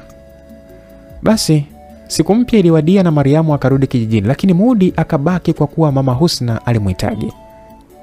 Majira ya usiku, Mariamu akiwa amelala, alishtuka mtu akimshika kwa taratibu sana, kama anampapasa. Kwa woga akapiga kelele, lakini bado alihisi kuwa anashikwa, lakini hakukuwa na mtu. Mariamu aliogopa sana, ila akajipa moyo na kulala. Asubuhi alipoamka alishangaa kuona ana maumivu makali sana sehemu ya mgongo. Alipoinuka akaona shuka lake lote limetapaka damu. Kwa woga akatoka nje mbio mpaka kwa rafiki yake ambaye wapo chama kimoja cha uchawi. Jamani Mariamu, una nini? Ah, angalia huku nyuma, sijui na nini, maana nahisi maumivu makali sana. Mm, we nawe unapenda kunitisha bwana, mbona hakuna chochote? Mariamu akanyoosha mkono na kujishika. Alipoangalia mkono wake ulitapakaa damu. Jamani Sharifa, angalia damu zote hizi, alafu tunasema sana kitu chochote. Hmm, unaongelea damu zipi wewe naye? Mi naona ni jasho tu kwa ajili ya kukimbia. Ghafla Mariam akasikia sauti ikimwambia, ni heri urudi nyumbani, hakuna anayeona kinachokutokea, unajisumbua sana. Kwa woga Mariam akatoka mbio. Ah, yani Mariamu bwana kaamua tu aje anitoe hapa makusudi ili niweze kumkimbiza ili twende kwao na siendi ng'o. Aliongea hivyo rafiki yake Mariamu, kisha akaendelea na shughuli zake. Upande wa nyumbani kwa kina Husna walikuwa wameamka na wengine waliondoka makazini na watoto shuleni. Paksi mwanangu, wacha mimi kesho niondoke nikaangalie biashara zangu. Sawa mama, nitakumisi sana. Usijali, kwa kuwa hapa wamekupokea, hapa itabidi uanze maisha, na kama hivyo mashabiki zako wamekupokea vizuri, nitakuongezea pesa kiasi ili ununue nyumba. Sawa, asante mama. Usijali, lakini kuwa bega kwa bega na familia hii ya kina Husna. Sawa mama. Majira ya usiku, mama Paksi alipata muda wa kuaga. Kila mtu alipatwa na huzuni sana. Eh, jamani, tumekuzoea sana. Ah, jamani, nitawamisi sana, msijali. Ila Pax wetu unatuachia eh? Ndiyo, namwacha. Eh, jamani, mimi na surprise ambayo nilimwandalia Husna, lakini Mungu akupenda kwa kuwa Pax ni ubavu wa Husna, nitampatia aliongea baba Husna. Mm. Hmm. Zawadi gani hiyo baba Husna? Kisha baba Husna akatoa funguo nzuri sana. Haikuwa ni ya gari, lakini ilionekana kuwa ni ya nyumba. Shika hii funguo Paksi. Hii sio funguo ya nyumba wala ya gari. Hiyo ni funguo ya studio ambayo niliandaa kwa ajili ya Husna. Ni mpya kabisa. Leo naukabidhi wewe, maana nimeamini maisha mafupi mno. Kila mtu alilia sana kwa kutaka kumwenzi Husna usiku huo. Kwa hiyo wakaenda hadi kwenye hiyo studio ambayo ilikuwepo maeneo ya Mbezi Beach. Ilikuwa ni studio nzuri sana yenye kuvutia kila kona. Ilikuwa na picha za Husna. Picha nyingi zilionyesha Husna akiwa na tabasamu pana. Asante sana baba, nitamwenzi Husna wangu kwa kulinda hii studio. Upande wa Mariamu, usiku wa saa nane akaenda zake kilingeni na kueleza kila kinachomtokea. Mm, una uhakika ile chupa unayo? Ndiyo, ipo na ninayo mimi kwa kuhakikisha kabisa nimekuja nayo. Kila mtu akaangalia na kuhakikisha kuwa kila kitu kipo sawa. Eh, jamani, sasa shida ni nini? Maana ya mambo sio ya kawaida. Mm, lakini nishasema mume wa Husna ana nyota kali sana. Hebu jitahidi ya kuoa haraka iwezekanavyo, na itakuwa rahisi sana kumkamata. Sawa, sasa mnisaidie mbinu za kumfanya nikubali. Ah, kwa yeye sio rahisi, ila kwa familia ya Husna wanaweza kumfanya akupokee. Waliongea sana maneno mengi na mambo mengi sana, kisha Mariam akawasili nyumbani Cha ajabu alikuta nyumba yote ikiwaka moto pamoja na vibanda vya mifugo. Alilia sana. Mariamu hakuweza kuamini kinachomtokea. Jamani, naombeni mnisaidie kuzima jamani. Ah, yani imewaka yote kabisa na inakaribia kuisha. Di, kwanza ulikuwa wapi? Lilikuwa ni swali ambalo mmoja kati ya watu waliokuwa pale aliuliza. Ah, huyu anadanga huyo, kwani umjui? Na hivi mama yake hayupo? Basi taarifa hiyo ya kuwa Mariamu hakuwepo ndani na alienda kwa wanaume, kila mtu ilimfikia. Ameataka mwenyewe bwana, yeye kaenda kwa wanaume huko, kaacha mshumaa, wacha umfundisha adabu. Kila mtu aliongea ya kwake. Wakaondoka na kumwacha Mariamu pale chini akigaragala na kulia kwa uchungu sana. Ah, Mariamu, huu ni mwanzo tu, bado mchezo unaendelea. Umeanzisha mwenyewe, basi mimi nitalimaliza. Kwani ni nani? Mbona ujitokezi? Kama ni mwanaume kweli, si uje mbele yangu tupambane? Mbona unanitesa bila sababu? Yule anayemtesa mwenzie hawezi jua maumivu mpaka ateswe. Usijali, utanifahamu, usiwe na haraka. Kisha ukatokea upepo mkali sana na ile sauti ikatoweka. Mama, mama, mwanao mimi jamani. Nini Mariamu? Mbona nitisha sana na saa hizi ni asubuhi sana jamani? Ni saa kumi. Najua mama, lakini hapana, siwezi kuendelea kukaa huku. Kwanza nyumba yote imeungua, mifugo yote, yani cha ajabu ng'ombe wa Mudi wapo wamepona, maana zizi lake halikushika moto. Uwi, jamani, umaskini wa jamani, mi nitakuwa mgeni wa nani? Alilia sana mama Mariamu kwa sauti na kuwafanya watu wote waamke. Walipomuuliza hakufanya ajizi, akawajuza nini kinaendelea, na kwa huruma akampa moyo. Modi alilia sana, hakuelewa afanye nini, alihisi kuchanganyikiwa. Usijali wifi yangu, mtakaa huku, tuna kuhusu mashamba, mtaweka vibarua na maisha atasonga Asante sana wifi yangu. Basi zilipita wiki mbili, huku Mariamu akiwa ameshakuwa mwenyeji pale mjini, na alikuwa akijiweka sana karibu na Paksi. Alimsindikiza studio, yani kila kona alipenda kuwa naye. Paksi alifurahishwa sana na ukarimu wa Mariamu na alimheshimu kama shemeji yake. Mama e, ruhusa yetu ya kuwasili Kilingeni imeisha na leo tunahitajika tuwepo. Ilikuwa ni usiku sana. Mariamu na mama yake wakajiandaa na kuondoka, huku kitandani wakiwa wameacha vinu ambavyo kwa macho ya kawaida unasema ni watu, kumbe ni vinu. Karibuni tena Kilingeni. Asante mkuu. Karibuni sana, poleni kwa matatizo yenu. Najua mmepoteza vijakazi vyenu vyote vinne, ikiwa mme wako, mama yako mzazi na watoto wako wale mapacha. Niliwatumia kama njia mafanikio sasa, lakini sina tena, wameteketea kwenye moto. Msikilizaji, hapa ngoja nikueleze kidogo. Mama Mariamu alikuwa na watoto mapacha ambao nao aliwatoa kafara. Mume wake ambaye ni mjomba wa Husna pia na babu yake Husna wote walitolewa kafara. Nahitaji tena kupata mskule, nafanyaje? Ingekuwa sio Mariamu kuwa mwanachama, ungemtoa yeye, ila kwa kuwa ni mwanachama, basi itabidi umtoe Mudi ambaye ni damu yako, maana ndio itafanya kazi kwa haraka zaidi. Eh, jamani jamani, kwani siwezi kutoa mtu mwingine? Inawezekana, lakini damu yako ndo itakuwa vizuri zaidi. Eh, ngoja nifikirie, nitatoa jibu ndani ya wiki hii. Sawa, ni mamzi yako. Muda huo huo ukatokea upepo mkali sana na sauti nao nguruma kama simba, na sauti hiyo ilitamka maneno haya: haki itatendeka na ubaya utafichuka. Kwa uoga na wasiwasi, kila mtu akaanza kutumia nguvu zake ili kuzuia huo upepo. Ah, he, kazi bure, msijichosha kabisa, hakuna anayeweza kushindana na nguvu zangu.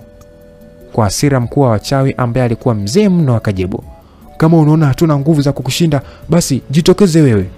Ghafla akastuka akinyanyuliwa mpaka juu zaidi, huku asionekane anayefanya hivyo.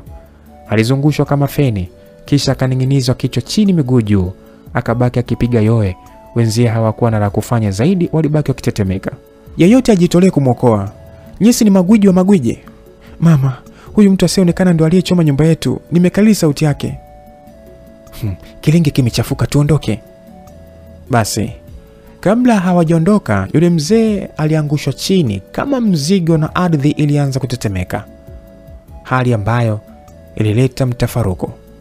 Yaani kila mtu alishika njia yake na kuangalia usalama wake. Basi Mariamu alikimbia ovyoovyo na kujikuta akiingia kwenye msitu ambao hata yeye hakufahamu.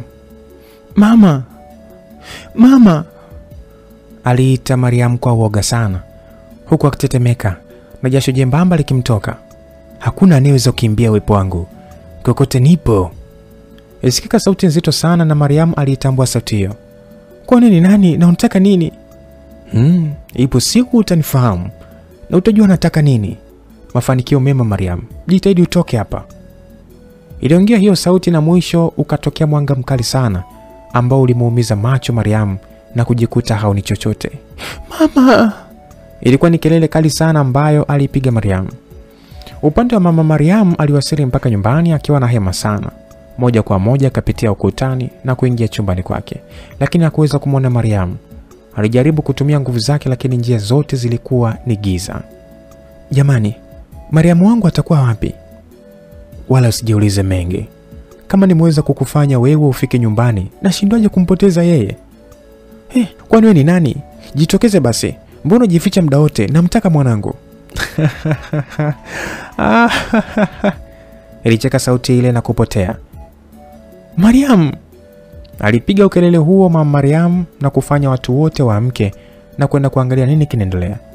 Jamani, wifi, mbona mpige kelele nyingi sana?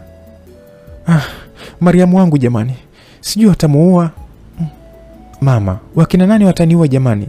Mimi niko hapa, alijibu Mariamu ambaye alikuwa nyuma mama yake amemshika mabega. Ah, ni ndoto tu wifi yangu, naomba mlale sasa hivi, ni usiku sana. Eh, ni ndoto. Kila mtu alitawanyika, akabaki Mariamu na mamake. Mama, imekuwaje? Maana nakumbuka mara mwisho nimepotea kwenye msitu mkubwa sana. Sasa sielewi nimefikaje hapa. Eh, nahisi kuchanganyikiwa. Ni ndoto au ni kweli jamani kila kilichotokea? Muda huo tena sauti nzito ikasikika. Majibu mnayo. Kama niliweza kukupoteza, nashindwaje kukurudisha? Asubuhi na mapema, Mariam na mama yake walikuwa wa kwanza kuamka na walipaki mabegi yao wakitaka kuondoka. Jamani wifi, kwani kuna kitu chochote tumewakosea? Ah, hapana, mi siwezi kuishi mjini, nimezoea kulima. Maisha ya huku ah, siyawezi. Mi pia shangazi, nahitaji kwenda kumsaidia mama, alijibu Mariam, lakini ghafla sauti kubwa ikasikika, lakini alisikia Mariam na mama yake tu. Hakuna njia ya kutokea, mtaondoka nikitaka, sio mkitaka. Jamani, wewe ni nani mpaka utupangie cha kufanya? alijibu mama Mariam. Sasa alijibu ile sauti, mama Husna akadakia. Jamani wifi yangu, yamekuwa hayo eh? Mimi si wifi yako jamani, na kuomba ubaki. Mariam na mama yake walianza kujibizana na ile sauti ambayo walisikia wenyewe tu, wenzao wakabaki wakiwashangaa. Ghafla wakaanza kurukaruka wakilia, kwani walikuwa wakitandikwa fimbo na fimbo zilikuwa zinachapwa ovyo ovyo zisizo na idadi. Ah, mama, mama! Wairuka huku na huku, kitendo kilichomwogopesha kila mtu na kufanya wakimbilie vyumbani mwao na kumwacha Mariamu na mama yake wakipata adhabu inayowastahili. Muda huo Paksi alijibanza kwa pembeni akicheka sana na kujikuta akikosa balance, akacheka mpaka akakaa chini. Baada ya muda mfupi, viboko vilitulia. Mariamu na mama yake wakakimbilia chumbani. Eti ah, mama ui yala Mungu wangu mie mama na mtanyoka wapuzi nyie. Aliongea hivyo Paksi ambaye aliingia chumbani kwake na kuanza kuigiza jinsi Mariamu na mama yake walivyokuwa akirukaruka na kupiga yowe. Paksi wewe, wacha bwana, unazitaji na wewe au? Ah, wapi, unataka na mimi nianze kurukaruka kama chura bila mwelekeo? Ah, we staki. Yaani naona unaenjoy na nitawanyosha. Lakini Husna, mbona utaki kujitokeza mbele yangu? Ah, Paksi, muda bado, nitakuja mbele ya kila mtu. Da, bye. Ilijibu sauti hiyo ambayo moja kwa moja ilikuwa ni Husna. Paksi mwanangu, ulikuwa unaongea na nani? Ilikuwa ni swali alilouliza mama Husna pale tu alipoingia chumbani kwa Paksi. Uh, uh, nani mimi? Jamani, kwani Paksi mpo wangapi humu ndani? Uh, mama, unajua nilikuwa naongea peke yangu tu huku nikisi kuwa Husna yupo mbele yangu. Eh, jamani, hebu usilie sasa, utaniliza na mimi maana bado siko sawa mwanangu.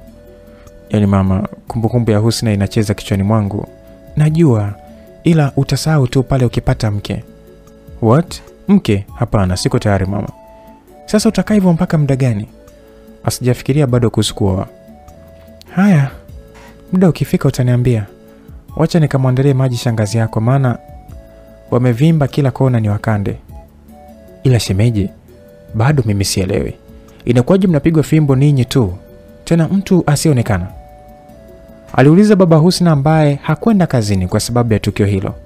Yaani shem, hata mimi sijui, huwa siamini ushirikina, lakini kwa hili naanza kuamini mpaka naogopa mimi mwenzenu.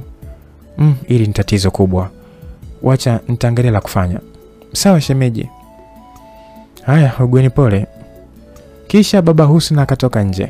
Majira ya usiku, mama Mariamu na mwanaye walijiandaa na kwenda kilingeni wakiwa na mialama kila kona. Jamani, hili swala limekuwa gumu kabisa, maana mi nimenunua kila aina ya uchawi, lakini kwa huyu mtu naona uchawi unagoma kabisa kufanya kazi. Sijui ni nani. Eh, itabidi tutafute njia mbadala hapa. Mi nina wazo jamani. Wazo gani? Mnaonaje tusitume watu wawili waende wakanunua uchawi wa Kongo na Nigeria? Nahisi una nguvu sana. Hmm, ni wazo zuri. Ikiwezekana waende sasa, kwani muda huu watakuwa kilingeni, watapata ule mkuu zaidi. Basi walipanga wakachaguliwa watu wawili ambao ni wa kike na wa kiume. Hakikishini mnawahi kurudi. Walipanda kwenye nyungo zao na safari ikaanza, lakini baada ya dakika chache walianguka kama magunia ya nguo za mtumba. Kila mtu akashtuka.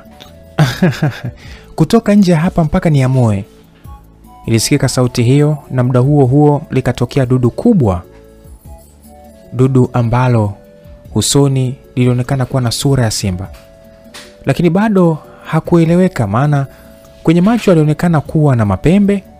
Mwili wake ulifanana na kifaru, lakini ulikuwa na manyoya mengi sana. Likaanza kunguruma. Kishindo chake sasa kilikuwa ni kikuu zaidi, maana kila alipokanyaga ardhi iliweza kutetemeka na kupasuka kabisa. Lilikuwa na kwato kubwa sana, na kwato zake zilikuwa nzito. Watu wakaanza kupiga yowe na kukimbia huku na huku. Liliwakamata na kuwapigiza vichwa vyao kwa pamoja na kuwaacha wakiwa hawana fahamu. Walikuja kustuka ikiwa ni majira ya saa kumi asubuhi. Sasa kwa woga zaidi wa kuja kuonekana, wakawahi kurudi makwao. Eh, mama, huyu mtu sijui ni nani na sijui anani- anania gani na sisi.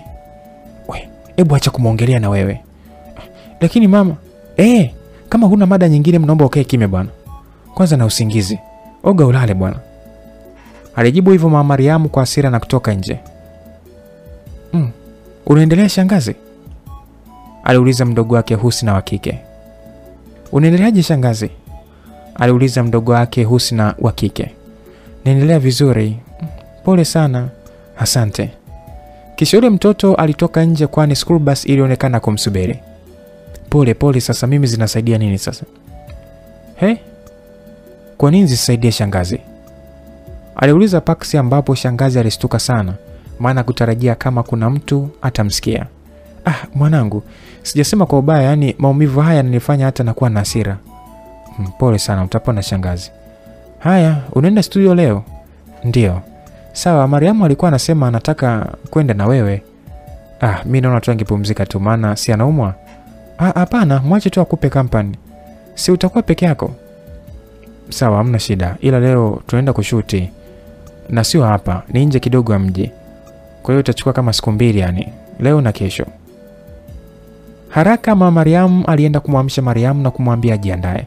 Kwa kuwa Mariamu alikuwa anahitaji ukaribu na Paksi, akajiandaa na majira ya saa nne safari ikaanza, wakiwa na wasanii kadhaa wakiwa na video queen wao. Mariamu alikaa karibu na Paksi maana walipanda costa. Ah, nina usingizi sana yani, natamani nilale chini, aliongea Mariamu kwa kudeka. Paksi akajibu, kwa nini chini wakati mimi nipo na unaumwa shemu wangu? Egemea bega langu tu na ulale, itakuwa vizuri zaidi. Basi Mariamu taratibu akajilaza akiwa na tabasamu pana sana, tena kwa mbwembwe zote, akamkumbatia Paksi vizuri zaidi.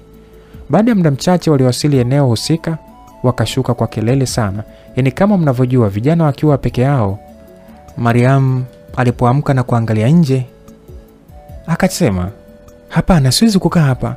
Mimi huu ndio msitu nilipoteaga, nakumbuka vizuri sana, siwezi. ni penyewe kabisa, kuwa makini, maana wanaweza kukusahau pia. Ilisikika sauti iliyomjibu Mariamu, lakini mtu hakuonekana kwa haraka.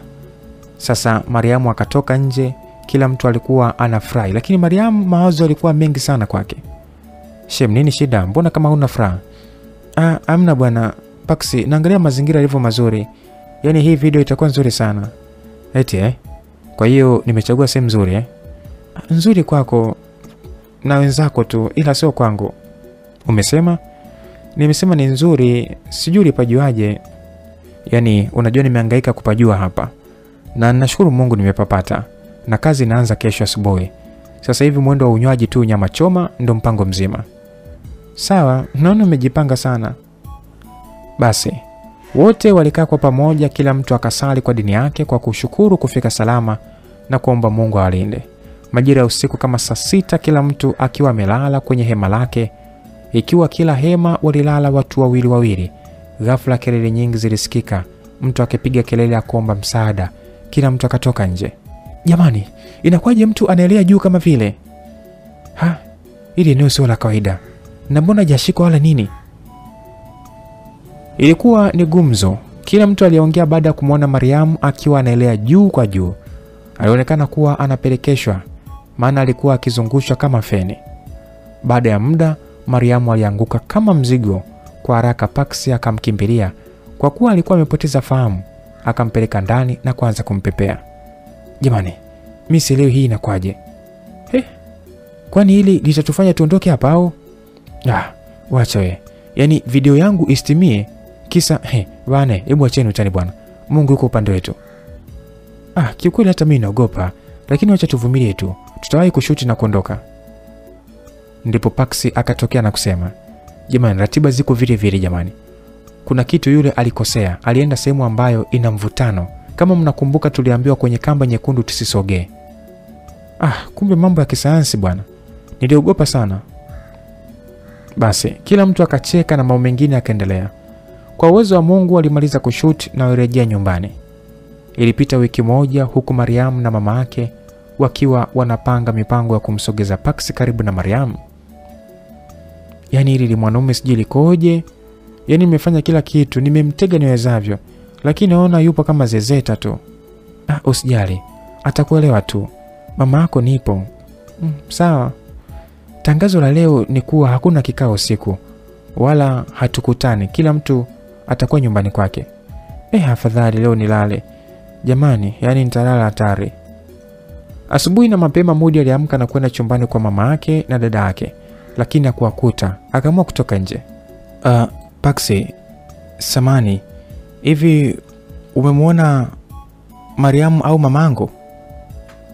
Hapana, wala hawakuamka, na mimi ndo kwanza natoka nje. Upande wa Mariamu na mama yake waliamka na kujikuta kuwa wapo makaburini. Mama, imekuwaje tuko hapa? He, unaniuliza wakati mwenye hata sielewi. Eh, mama, yule sio mama Samueli kweli ambaye ni mwanachama mwenzetu? Basi wakamfata huyo mama ambaye walionekana kumfahamu. Ghafla wakatokea watu ambao ni wachai wenzao, nao wakiwa hawajielewi wamefikaje maeneo hayo. Jamani, hebu mtujuze, nani alituleta huku? aliuliza mkuu wa wachawi, na kila mtu akajibu kuwa hajui. Ghafla wakatokea watu wengi sana wakiwa wamevaa mavazi meupe tena ya kung'aa, na giza zito lilitanda. Watu hawa hawakujulikana mwanzo wao wala mwisho wao, yaani hawakuonekana miguu wala kichwa. Watu hao walifanya kila kitu kwa pamoja, yaani walicheka kwa pamoja na walitembea kwa pamoja. Kila mtu wasiwasi ulimshika, wakasogea katikati wakikumbatiana, wakiwa na imani kuwa ndo suluhisho. Walijaribu kutumia nguvu zao, lakini hazikusaidia hata kidogo. Kumbe hata ninyi mnaogopa. We nani na kwa nini unatutesa? Hatuna hatia, hatujawazuru ambao hawana makosa, lakini we pia ni jamii yetu, aliongea Mariamu na kujikuta akipigwa bao zito sana lililomfanya apoteze fahamu. Ghafula mwanga ukatoka, lakini walijikuta sehemu tofauti na hiyo. Ilikuwa ni kwenye msitu mpana mno wenye majani ya kijani sana, na miti mirefu iliyoleta giza. Jamani, mi naogopa kwa kweli, Aliongea rafiki wa Mariamu ambaye muda huo alimkumbatia mama yake. lakini mama, wewe usiniambie ukijiunga na hiki chama hakuna mtu ambaye atatushinda nguvu. Akimya kimya na wewe naye bwana, im kimya tena, usiongeze neno. waliangaika sana mno, waliangaika mno. Mwisho akapoteza matumaini ya kutoka umo kwa kuwa alichoka. Kila mtu aliangalia sehemu ambayo inafaa na kukaa chini. Wakiwa wote wamepitiwa na usingizi, mizizi ya miti ya eneo hilo ilitoka na kuanza kuwafungafunga miguu, kisha ikawa inapanda juu. Kila mtu akajikuta miguu juu, kichwa chini, na joto lilikuwa kali sana kama moto unawaka. Walilia sana kuomba msaada, lakini hakuna aliyetokea kuwasaidia. Walihangaika sana kwa kuwa joto lilikuwa kali sana. Kila mtu akaanza kuhisi kuwa anachomeka. Damu zilianza kuwatoka kama bomba. Kila mtu alitokwa na damu puani na mdomoni. Walihangaika sana, walipiga kelele nyingi kuashiria maumivu yao, lakini hakukuwa na msaada. Ah, leo mtajua maumivu wanayopataga wengine mnavyowatesa. Mtakaa hapo ndani ya siku tatu, kufa hamfi, lakini cha moto mtakiona. Kisha sauti ile ikatoweka. Baada ya muda kidogo, joto lilipungua, lakini bado mizizi ile iliendelea kuwashikilia huko juu. Upande wa nyumbani, kila mtu alichanganyikiwa sana. Walijaribu kuwapigia simu, lakini hawakupatikana. Walitoa taarifa hadi kituo cha polisi, walitafuta hadi mahospitalini, lakini hawakufanikiwa. Da, shangazi, mamangu na dada yangu sijui atakuwa wapi. Usijali Modi, tutawapata jamani, sawa eh? Usiwe na wasiwasi, kila kitu kitakuwa sawa.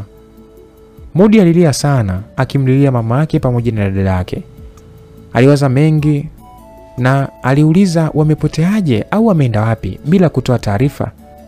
Kila nyumba ilipoteza tumaini. Siku tatu zilifika huku Mariamu sasa na kundi lake wote wakiwa bado wanaendelea na adhabu. Joto lilikuwa likiongezeka na kupungua. Nadhani adhabu yenu imeisha, lakini leo nataka nije rasmi mbele yenu. Basi ile mizizi iliwaachia. Muda huo huo mwanga mkali ulitokea na akatokea msichana mzuri sana akiwa katika mavazi meusi. Mariamu na mama yake walistuka na kuita Husna. Hamjakosea, na nina furaha kuona kuwa mna kumbukumbu nzuri sana. Unahitaji nini kwenye maisha yetu?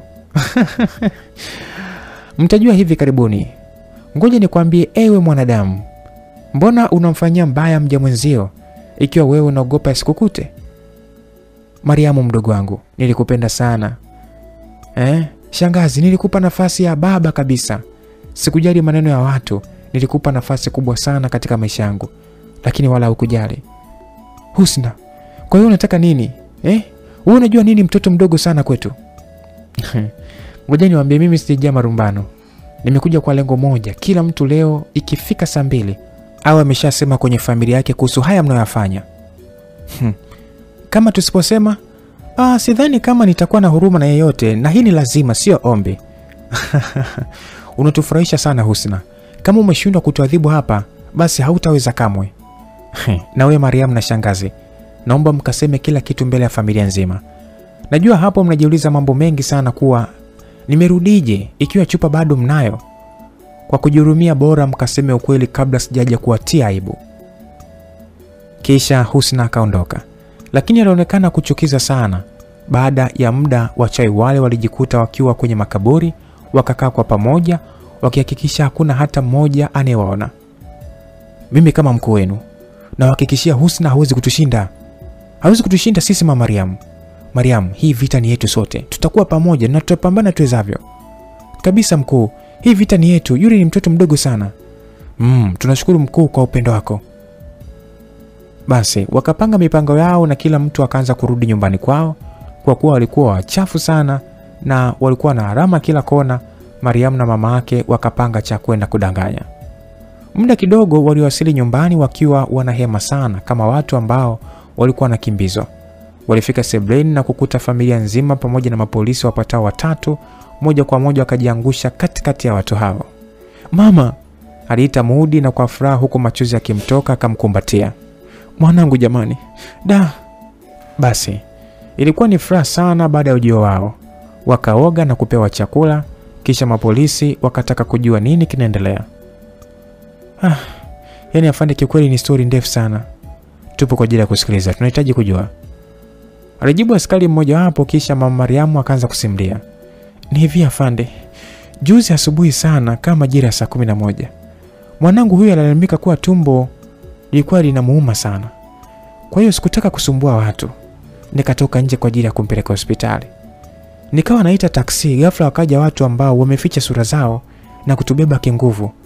Walitupeleka mahali ambapo wala hatukuwahi kupaona, maana tulifungwa macho siku zote hizo. Ina maana hamjawahi kupaona? Labda mtujuze kukoje? Ah, hapana, sikupaona. Sawa, na hapo umefikaje? Wametuleta na kututupa hapo nje getini. Oh, poleni sana. Ah, walisema kuwa nataka nini kutoka kwenu? Mama Mariam alianza kulia kwa sauti ya juu sana. Yaani mimi mwenzenu sielewi wanamtakia nini mtoto wangu, ndo kwanza hata mwaka haujaisha tangu afariki. Hatujaelewa unazungumzia nini? Jamani wifi, nashangaa hawa watu wanasema eti wanataka Husna, maana ndo shida yao na sio sisi. Nimejaribu kuwaambia kuwa amefariki hawa. Kabla hajamaliza, Husna akatokea pembeni akiwa na hasira sana, na ni wao tu ndo ambao walikuwa wanamwona, yaani Mariam na mamake. Walipatwa na wasiwasi sana, walikumbatiana wakiwa natetemeka Ni heri mkasema mapema, maana sitokuwa na msamana na ninyi. Waliogopa kujibu, kwani wao pekee ndo walimwona Husna. Wakainuka na kukimbilia chumbani mwao. Kila mtu akabaki akiwashangaa kwa kuwa hakukuwa na cha ziada. Polisi wakaamua kuondoka. Hivi ni nani hapa mwenye shida na mwanangu mpaka wanaamua kuteka ndugu zake? Aliuliza baba Husna akiwa anazunguka huku na huku, na kila mtu alibaki akiwa hana jibu. Kisha baba Husna akaendelea, Paksi mwanangu, na kuomba ufunge kwanza ile studio, maana kama ameweza kuwachukua wale, hawashindi kukuchukua hata wewe. "Ah, Lakini baba, uh -uh.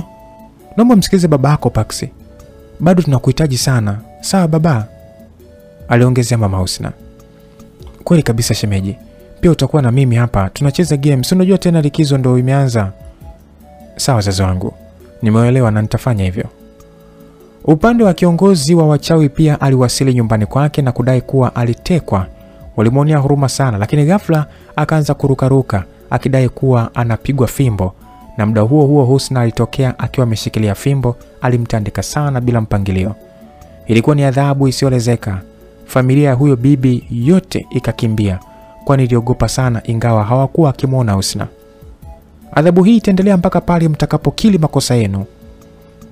Zilipita siku tatu, wachai wote wakaamua kukutana kwenye kilinge chao, maana hawakuwa wakikutana, lakini siku hiyo mkuu wao aliwaita ikiwa ni majira ya saa sita usiku. Nashukuru wote ameitikia wito wangu.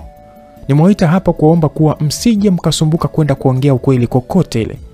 Nimehangaika niwezavyo, nimepata gwiji wa magwiji kutoka Kongo na atatusaidia, atakuwa hapa muda si mrefu.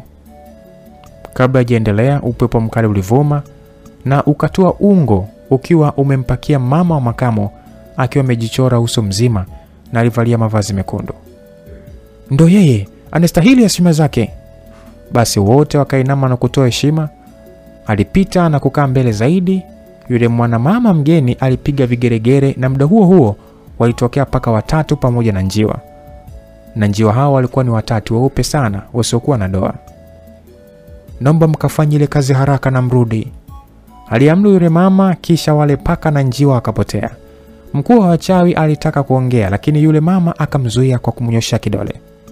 Baada ya muda wakarudi wale paka wakiwa na kipande cha sanda ambacho kilionekana kuwa kichafu sana. Kilikuwa pamoja na maudongo pamoja na kichupa ambacho Paksi aliweka juu ya kaburi la Husna. Asanteni sana, mnaweza kuondoka, nipo sehemu salama hapa.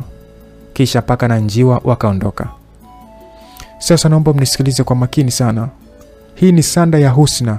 Huu ni udongo ambao umechota juu ya kaburi lake, na hiki ndio kichupa mlichoambiwa mkitunze. Kuna mtu alikitoa na kwenda kumwamsha Husna, sijamjua, lakini ni mtu hatari sana. Mariam na mama yake waliogopa sana, walijiuliza sana kuhusu kichupa ambacho wanaishi nacho ni kipi, ikiwa chenyewe kimeshaibiwa. Kisha yule mama akaendelea, Husna, Husna, Husna. Aliita jina la Husna mara tatu na Husna akatokea mbele yake akiwa ameregea sana. Kila mtu aliogopa. Mnaogopaje sasa ikiwa mmeweza kutoa uhai wake? Kwa nini mnaogopa? Mariamu, sogea hapa. Kwa uoga, Mariamu alisogea na kupiga magoti mbele ya Husna. Cha ajabu, Husna alimshika Mariamu nywele na kuanza kumvuta. Usiogope Mariamu, huyo hawezi kukudhuru hata kidogo. Naomba chukua huo udongo mwagie miguuni. Basi Mariamu akafanya kama alivyoagizwa, na muda huo huo Husna akaanguka chini kama mzigo. Mariamu akapewa maelezo na kuanza kufanya. Akachota lile dongo alilomwagia Husna na kufunga kwenye kipande cha sanda, kisha akatumbukiza kwenye chupa. Kazi nzuri Mariam. Sasa hiyo chupa itakupasa upeleke baharini sasa hivi, kisha urudi. Nina ndege wangu atakusaidia kila kitu, na ndo utakuwa usafiri wako. Muda huo huo akatokea ndege mkubwa sana. Mariamu akapanda na kuondoka naye. Baada ya nusu saa, Mariamu akarudi. Kuanzia sasa mko huru. Husna mmemfunga mazima, hawezi kurudi kwa kuwasumbua tena, na kazi yangu imeisha. Asante sana, tutashukuru sana. Walijibu wote kwa pamoja kuashiria kuwa wamefurahishwa na kazi yake. Mkuu, nina zawadi yako nimekuandalia muda mrefu sana. Mjukuu wangu amejifungua juzi mtoto wa kiume. Nilipojua kuwa kuna ujio wako, nilimtoa kikoa huyo mtoto ili awe zawadi kwako. Nashukuru sana, na nitaondoka naye huku genini, siwezi itumia. Waliongea kisha wakaondoka. Mwezi mzima ulipita huku maisha akiwa ya kawaida sana. Mariamu na mama yake pamoja na wachawi wengine waliishi kwa amani sana, tena na furaha ya hali ya juu kabisa. Walisahau kuwa hata kuna Husna alikuwa anawasumbua. Paksi akiwa amelala alishtuka kwa kuhisi kuwa kuna mtu chumbani kwake, na kweli alipoamka alimkuta Mariamu akiwa amekaa pembeni yake. Ah, Mariamu, unafanya nini chumbani kwangu? Ah, maswali gani hayo Paksi eh? Kwani mimi sivutii au sipasi kuwa chumbani kwako? Lakini Mariamu, mimi ni shemeji yako, huwezi ingia bila ruhusa, tena na kanga moja. Hmm. Mwanaume mzima unaogopa? Cha kwanza tupo wenyewe hapa nyumbani, hakuna mtu mwingine, nimekuja tu ili tuweze kufurahishana. Hapana, naomba utoke. Ah, jamani, utakuwa mpweke mpaka lini? Husna hawezi rudi, alafu mi sina tofauti na Husna, jaribu basi kuelewa. Mariam alimsumbua sana Paksi. Paksi alipoona kuwa hapa anaweza kuingia kwenye mtego na kumsaliti Husna, akaamua kutumia nguvu ili kumtoa. Mariamu akapiga kelele, mama, mama! Muda mfupi alikuja mama Mariamu akiwa ameongozana na familia nzima. Walimkuta Paksi akiwa amemshikilia Mariamu. We ni shemeji yangu, kwa nini unataka kunifanyia hivi eh? aliongea Mariamu huku akilia. Mama Husna alichukia sana na aliona aibu ambayo haikuwa na kipimo. Kwa hasira akaondoka. Mama Mariamu akamchukua mwanaye na kutoka na nje. Baba Husna akabaki ndani kwa heshima, akafunga mlango. Paksi, kwa nini umefanya hivyo mwanangu? Hapana baba, wewe unahisi mimi naweza kufanya hivyo? Ah, maswali ya kijinga. Kwa hiyo unataka nisiamini nilichokiona kwa macho yangu? Hmm. Unaweza kuona picha ya kitabu kwa nje, lakini istafasiri aliyomo ndani baba, aliongea Paksi huku machozi akiwa anamtoka. Kwa kweli sikukosea kukataa wewe kumwoa mwanangu, yaani sijutii maamuzi yangu kabisa. Lakini ba uh -uh, kaa kimya tena, usije ukathubutu kuniita mimi baba, alijibu baba Husna, na kwa asira akatoka nje. Upande wa Mariamu na mama yake walibaki wakijipongeza kwa alichofanya. na kuamini mamu wangu wala ukoseagi. Ah, mimi tena sasa hapo nakwambia, lazima shangazi na mjomba watamwomba anioe na ndoto zangu za kuwa mke wa Paksi zinatimia. He, wewe tena subiri, ngoja nikajazejazie mambo huko nje ili waamue haraka. Uendelea kujiliza hapo. Basi bwana, maneno hayo yote Mudi aliyasikia. Alisikitika sana kuona mama yake na dada yake wanamchafua mtu kwa mahitaji yao binafsi. Kwa hasira akatoka nje na kwenda kukaa kwenye bustani ya maua. Aliwaza sana nini kitatokea. Pia alifikiria kumsaidia Pax, lakini pia aliwaza atamsaidiaje, maana hakutaka kuwatia aibu wakubwa zake. Upande wa mama Husna alikuwa akilia sana, na muda huo huo mama Mariamu akaingia akiwa nafuta machozi. Pole efi yangu, nisamee mimi, maana nilimwamini huyu kijana na kumwacha kwenye nyumba yangu. Najuta mimi. Usijali wifi yangu, sio makosa yako, lakini mama wangu analia sana, anaona aibu, hawezi kabisa kukaa na Paksi kama mwanzo. maana alifanikiwa kumwona maumbile yake. What? Ina maana bado kidogo tu lengo lake lingefanikiwa? Ndiyo wifi. Mama Husna kwa asira akainuka na kuelekea chumbani kwa Paksi, akaanza kutoa nguo za Paksi ambazo zilikuwa kwenye kabati na kuziweka kwenye begi. Nimekusaidia hadi kupaki nguo. Haya, mwanaume rijali unayejua kuwadhalilisha wanawake, naomba utoke kwenye nyumba yangu. Aliongea mama Husna. Paksi alistuka sana, hakutarajia kuwa mambo yatakuwa hivyo. Kwa machozi akapiga magoti na kuanza kuomba msamaha. Nisamehe mama, mimi sikutarajia. Hata hivyo sijamfanya chochote, amenisingizia tu. Unafikiri mimi naweza kumsaliti Husna? Wewe tena usije ukarudia kutaja jina la mwanangu Husna. Mwanangu Husna alikuamini sana na kutaka kuwa mwili mmoja na wewe. Sasa angalia, tazama leo unachokifanya kwa mdogo wake. Kila mtu alisikia hizo kelele na kukimbilia kwenda kuangalia nini kinaendelea. Kwani huna kweni wewe? Maana mwanangu amefariki muda mrefu tu, wewe umeganda hapa kama kwenu. Naomba ondoka, aliongea mama Husna huku akiendelea kumsukuma Paksi. Walifika hadi geti la nje, mlinzi akasaidia kutupa begi nje. Paksi aliumia sana, maumivu yake hayakuweza kuelezeka. Ah, jamani, mamu wangu amedhalilishwa sana. Mwanaume gani atakubali kumwoa mamu wangu? aliongea mama Mariamu akilia, na maneno hayo alimfanya mama Husna apate wazo jipya. Subiri mpuzi wewe, kama unahitaji kuwepo hapa lazima ufiche aibu uliomwacha nayo huyu Mariamu, inabidi umwoe. What?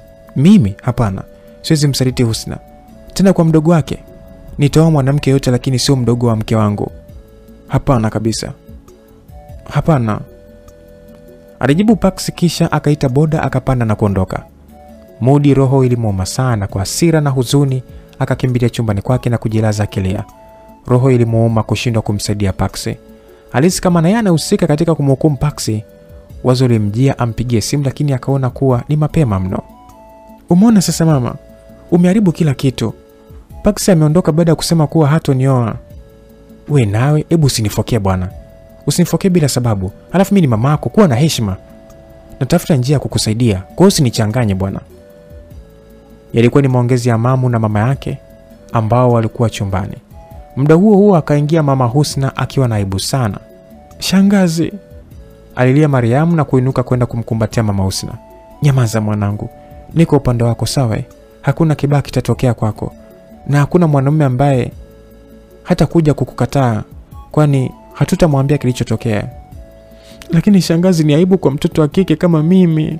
Najua, ndio maana nikaamua kumwondoa kabisa huyu mwanaume. Kwanza mwanaume kama yule hafai kabisa kuwa mume wa mtu, hata mwanangu akufai kabisa. Upande wa Paksi alifika hotelini na kuchukua chumba. Aliingia ndani akiwa na huzuni na mawazo yasiokuwa na ufumbuzi.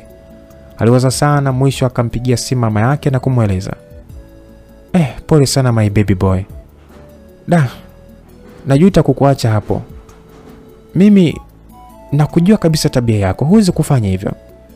Lakini mama, jina langu linachafuka, mi siwezi kuendelea huku. Mradi mfata sijampata, hakuna haja ya mimi kuendelea kudharirika Najua, lakini kuna kazi kubwa ipo. Kuhusu Husna, potezea hayo mambo na unisikilize kwa makini. Sawa, nakusikiliza mama. Nimepanga nije huko kumfungua Husna, maana wamemfunga sana, hawezi kutoka. Ndio maana unaona hao watu wanafanikiwa wanachokifanya. Nakuja kumfungua mwenyewe pande zote za dunia, sitojali mashariki wala magharibi, ataangamiza kusini hadi kaskazini.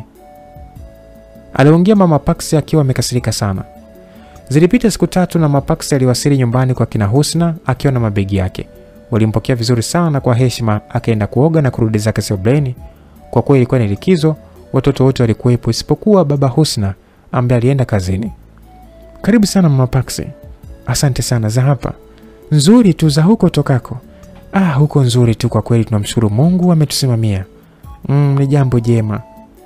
Muda huo huo aliingia Mariamu ambaye alikuwa chumbani. Alimsalimia mama Paksi kwa heshima zote na kwa tabasamu pana. Pia mama Paksi akajibu kwa furaha, ah, naona wote mpo, lakini mbona simuoni Paksi kokote? Aliuliza mama Paksi swali hilo ambalo lilimshtua kila mtu na kuonekana kuwa na nyuso za wasiwasi. Ah, au ameenda studio? Aliuliza tena mama Paksi.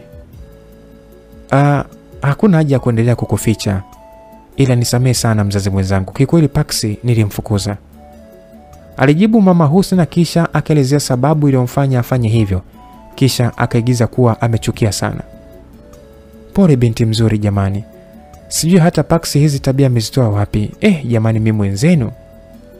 Mama Paksi akapiga magoti kwa heshima na machozi. Mariamu akamuinua mama Paksi. Usijaliwe, ni kama mama kwangu, hauna haja kupiga magoti na kuniomba msamaha.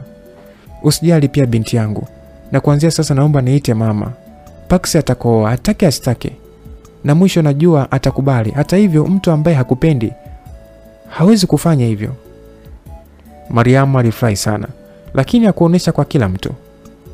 Majira ya usiku, mama Paksi alipoona kuwa kuna utulivu wa hali ya juu, akaanza kufanya kazi yake iliyomleta.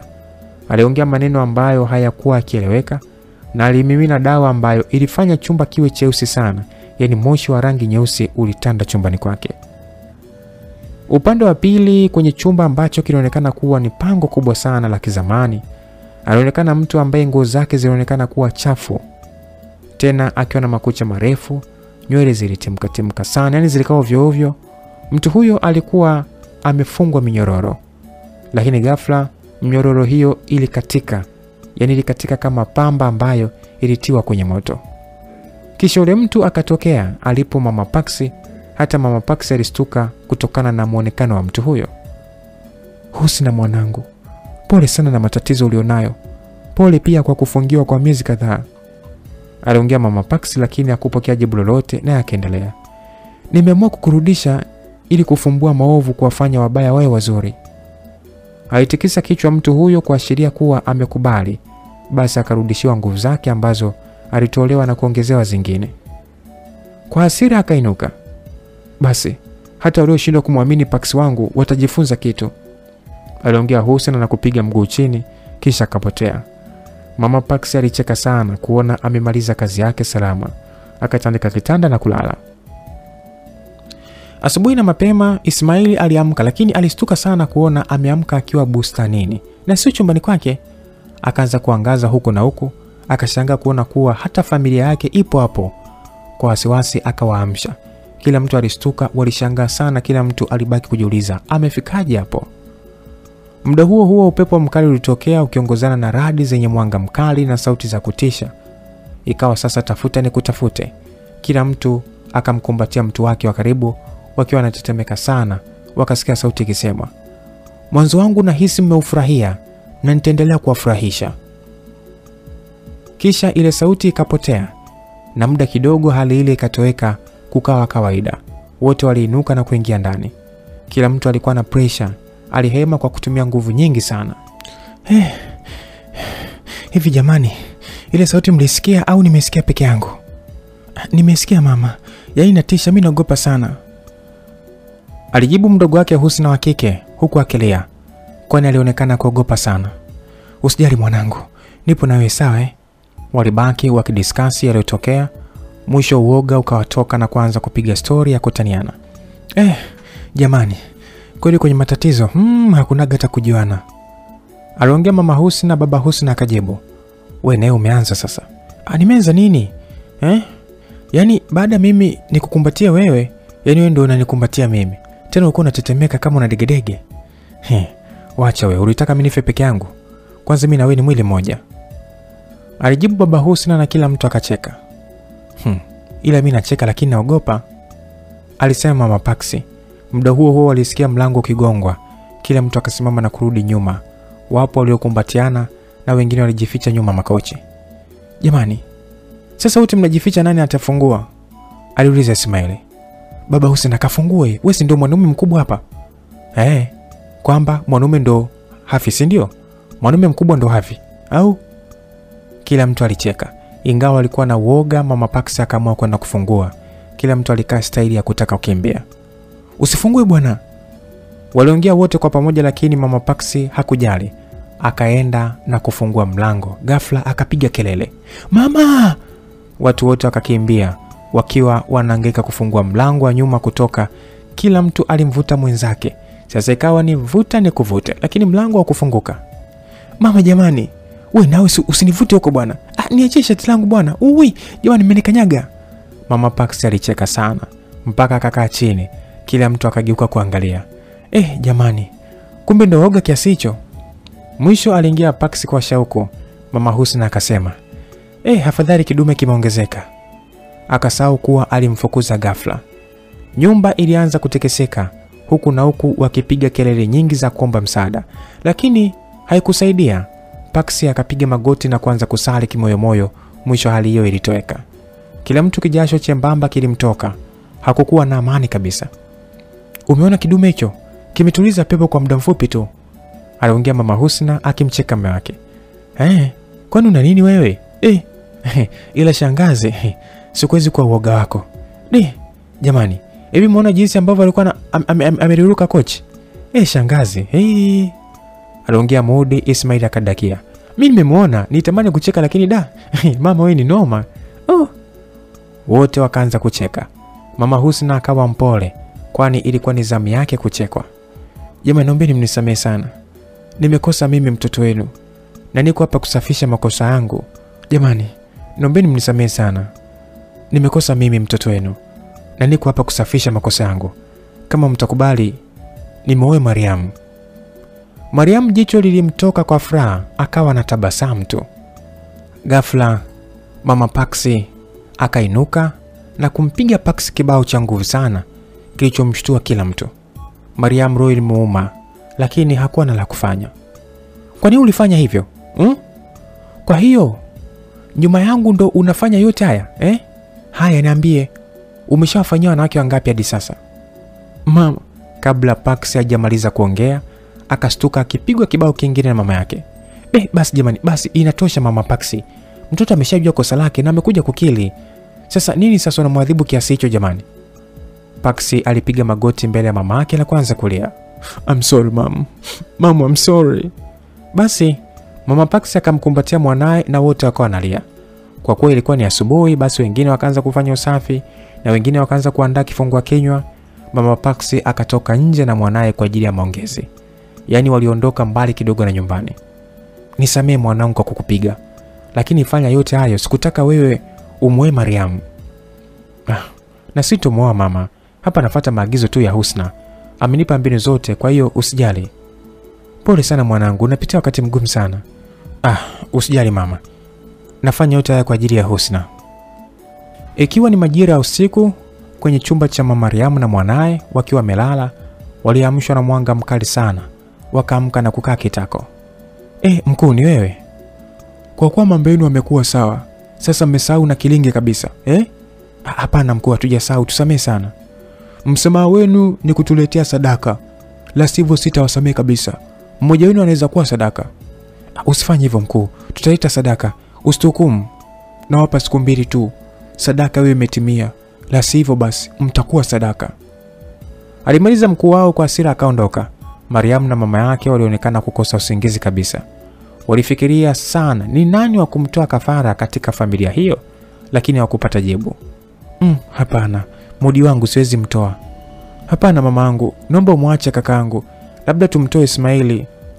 Yaani, naona kama hana faida yoyote. Umeongea ukweli mwanangu, kazi hiyo itaanza kesho asubuhi na mapema. Paksi akiwa anafanya mazoezi, Mudi akamsogelea. Mm, brother, naona uko fit ese, push up kama zote hizo. Du, ah, kawaida hata ukijizoesha mazoezi utaona ni kawaida tu. Ah, haya mambo yana wenyewe bwana. Ah, hayo mambo yanawafaa kama nyie bwana. Sijui mnatafuta sijui ndo mnaita nini six packs sijui. Hebu acha kunichekesha sasa. Sasa packs ni jina langu. Ha? Inaitwa six pack. Ah, kumbe ni paki. Mimi nikajuaga packs. Ah, samani bro. Afu nahitaji kuuliza maswali machache. Uliza, mbona nimemaliza mazoezi? Sawa, ni hivi, mbona umetaka kumwoa dada yangu kwa kusafisha makosa ambayo haukufanya? Mm. Wewe umejuaje kama sijafanya? Ah, unajua unaweza kusoma ukweli wa mtu kutumia macho yake au maneno yake. Tangu siku ya kwanza nilijua kuwa hujafanya hivyo. Ah, Mudi shemeji yangu. Unajua usijali, usijali shemeji yangu mtarajiwa. Kiukweli nifanya kweli. Si unajua tena hisia zetu sisi wanaume. Yaani da.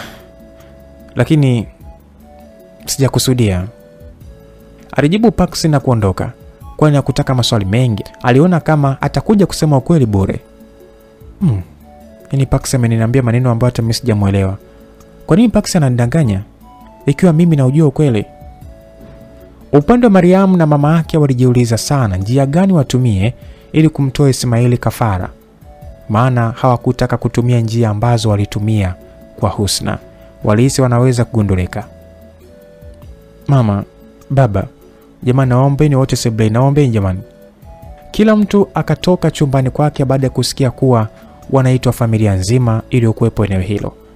Pax kwa heshima akapiga goti na kumsogelea Mariamu, kisha akatoa pete na kuuliza Will you marry me?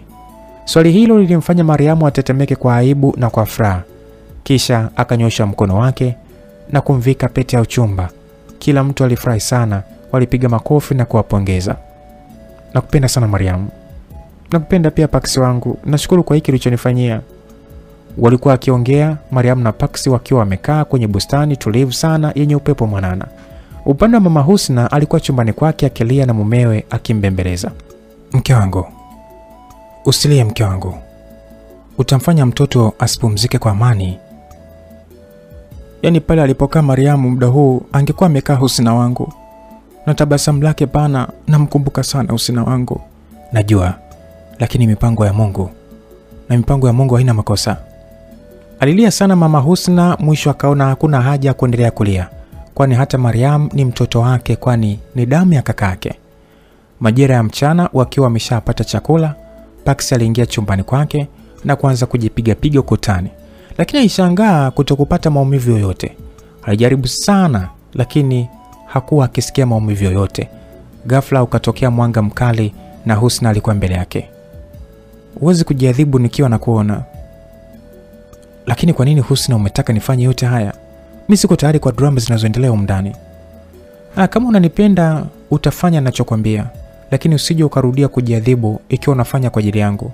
Alimaliza Husna kisha akainuka na kuondoka, wakiwa wote wamekaa sebleni, yani familia nzima, kwani walikuwa wakihitaji kupanga mambo ya ndoa na ilikuwa ni mchana. Ghafla giza nene lilitokea likifuatiwa na mungurumo kama simba. Kila mtu alipiga kelele kuashiria kuwa anaogopa sana. Muda huo huo mwanga mkali ulitokea na likatokea jitu refu sana ambalo halikujulikana kichwa kiko wapi wala miguu iko wapi. Paksi, mtu huyo kama mwanzo jamani, alisikika mama Husna. Paksi akasogea karibu ya yule mtu, lakini ghafla alinyanyuliwa juu kama pipi, maana Paksi alionekana kuwa ni mtoto mdogo sana kwa huyo mtu, kwani hakuweza kufurukuta wala kuangaika. Kila mtu akatafuta pa kujifichia. Paksi, fanya kazi haraka, fanya kazi kama nilivyokuelekeza. Nimechoka kuangaisha familia yangu, aliongea mtu huyo ambaye alikuwa amembeba Paksi, kisha akamtupa chini kama mzigo, tena mzigo hatari. Cha ajabu, Paksi hakuumia, lakini kwa kuwa ilikuwa ni maigizo, akajifanya kuwa ameumia. Siku mbili zilipita, ikiwa ni majira ya usiku, Mariamu na mama yake wakiwa wamekwenda kilingeni wakipanga jinsi ya kumtoa Ismaili sadaka. Tumechoka kusubiri, kila siku unasema kesho kesho. Jamani, nombeni msubiri, nombeni wambie ukweli, sadaka tutaleta, lakini kwa sasa mtuvumilie sana jamani, maana ndoa ya Mariamu inakaribia. Sasa fikirini, msiba ukitokea, unafikiri kutakuwa na ndoa hapo? Ah, sasa ungesema mapema.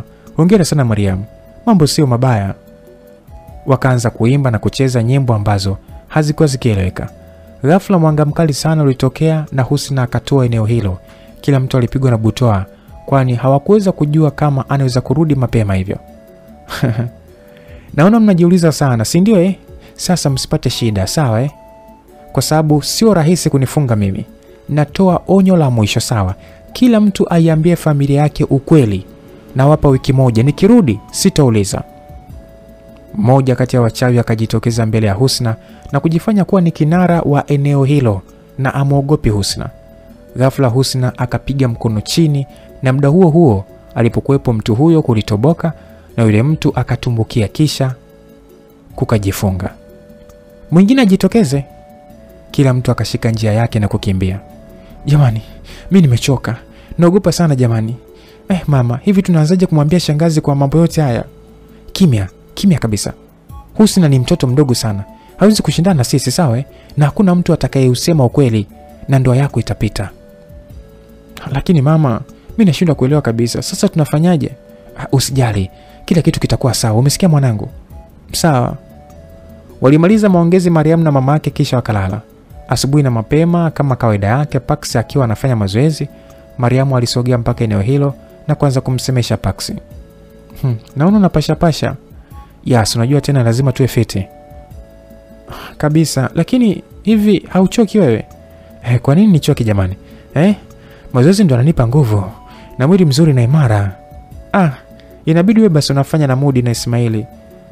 Ah, nimekuletea juice. Nasikiaga ni nzuri kwa watu kama nyie. Ah, yani wewe nashukuru sana lakini usi unajichosha bana eh. Muda huu ulitakiwa huo umelala. Hapana, lazima niwahi kuamka kwa ajili yako mume wangu mtarajiwa. Ah, ndio maana nakapendake jamani. Ah, suni nitakuwa kibonge jamani. Aliongea Paksi. Mariamu alifurahi sana, kisha akaga na kuondoka, akamwacha Paksi akiendelea na mazoezi. Kisha Paksi akakaa chini akipumzika, akataka kunywa ile juice, lakini ghafla ilitupwa na mtu ambaye hakuonekana, ila sauti ilisikika: usio napokea kila kitu na kukitumia, utakufa bure. Paksi moja kwa moja akajua kuwa ni Husna, akaomba msamana kisha akarudi ndani. Hapana, mi siwezi kuendelea kuwa hapa jamani, eh? Hivi nyumba ina mauzauza kila kona. Hapana, mimi siwezi. Ah, ah, hapana. Alikuwa akilalamika mdada wa kazi wa nyumbani kwa kina Husna, akiwa tayari amepakia hadi mabegi yake kwa ajili ya kuondoka. E, jamani Jamila, unaondokaje na kutuacha hapa? Basi nitakuongezea mshahara. Ah, yani yaani kisa mshahara ndo niweke maisha yangu hatarini? Hapana, siwezi kabisa. Kisha akamsukuma mama Husna ambaye alikuwa mbele yake na kutaka kuondoka. Ghafla akarudishwa nyuma na kukalishwa chini. Kila mtu alishangaa, lakini hakuna hata mmoja aliyoona hicho kitu. Na muda huo huo akatokea msichana mzuri mwenye asili ya Kiarabu. Alikuwa amependeza sana, kila mtu alibaki akishangaa. Ah, eti kuondoka. Usije ukajaribu kutoka kwenye nyumba hii hata mara moja, maana utapoteza maisha huku unajiona. Mdada ule wa kazi aliogopa sana, alitetemeka huku kijasho chembamba kikimtoka. Kisha ule msichana mzuri aliyetokea akainuka na kusema Mariam, kaniandalie chumba cha wageni, kwani mimi ni mgeni wenu. Nashangaa hamnipokei. Mdogo wa kike wa Husna kwa shauku na uoga akauliza, ina maana unataka kuishi na sisi hapa? Hmm. Mbona kama unauliza jibu? Subiri nikwambie, nitaishi hapa, ila natamani nilale na wewe chumba kimoja. Hmm, hapana, chumba cha wageni kipo, alijibu hivyo mdogo wake Husna, kisha akamkumbatia babake huku akilia. Jamani, kwani ni nani na unataka nini kwetu? aliuliza Mudi akiwa amemsogelea yule msichana. Kwa hasira, yule msichana akamnyanyua Mudi kwa mkono mmoja akiwa amekaba shingo yake. Mudi alitapatapa huku na huku akirusha miguu. Kila mtu alipiga yowe, lakini hakuna aliyejitokeza kumsaidia. Hata Pax pia aliogopa, maana hakuwa na uhakika kuwa yule ni Husna au wamepata adui mpya. Muda huo huo, Modi alitupwa mbali kabisa na kujigonga kwenye ukuta na kupoteza fahamu. Ina maana hujanisikia? Kaniandalie chumba changu, unashanga nini? Basi Mariamu kwa wasiwasi akaenda ili kuandaa chumba. Muda huo huo, yule msichana alitoweka pale sebleni na kutokea chumba alichopo Mariamu. Ni kuwa nakutaka sana we mtoto mdogo mshirikina. Lakini kwani we ni nani na unataka nini kwangu? Nachotaka ni mseme ukweli kwa familia kabla mambo mabaya hayajawakuta. Jamani, ukweli kuhusu nini sasa? Mi nishachoshwa na vitisho vyako bwana. Kama vipi ni uwe kufa lazima ufe eh? Unataka kufa? Ai, kufa lazima ufe, lakini mpaka useme ukweli kwa uhalifu uliofanya. Upande wa sebleni, kila mtu alibaki akiangaza huku na huku, wasijue yule msichana alipotelea wapi. Mariamu aliandaa chumba akiwa amesimamiwa na yule msichana. Alijaribu kutumia nguvu zake za kichawi, lakini alishindwa. Nguvu zake hazikuwa zikifanya kazi mbele ya uwepo yule msichana. Pale sebleni, mama Mariamu pia simu yake ilianza kuita kwa haraka sana. Alipokea. habari jirani za huko, ilisikika sauti upande wa simu, ambapo ilionekana kuwa na kileo. Huku kwema, vipi jirani, mbona kama unalia? aliuliza mama Mariamu. huku hali imekuwa mbaya sana mamaangu, kwani mamaangu amekutwa amefariki kifo cha ajabu sana jamani, nashindwa kuelezea. Pia mama Rajabu huyu jirani amepotea kitatanishi, yaani ah, na mama Nudini pia haonekani, yaani hali ni tete. Kwa uoga mama Mariamu alianza kutetemeka na kuangusha simu chini. Hakuwa na nguvu za kusimama, bila kutarajia akakaa chini, machozi yalimtoka kama maji. Mariamu alimaliza kupanga kile chumba na kutoka nje.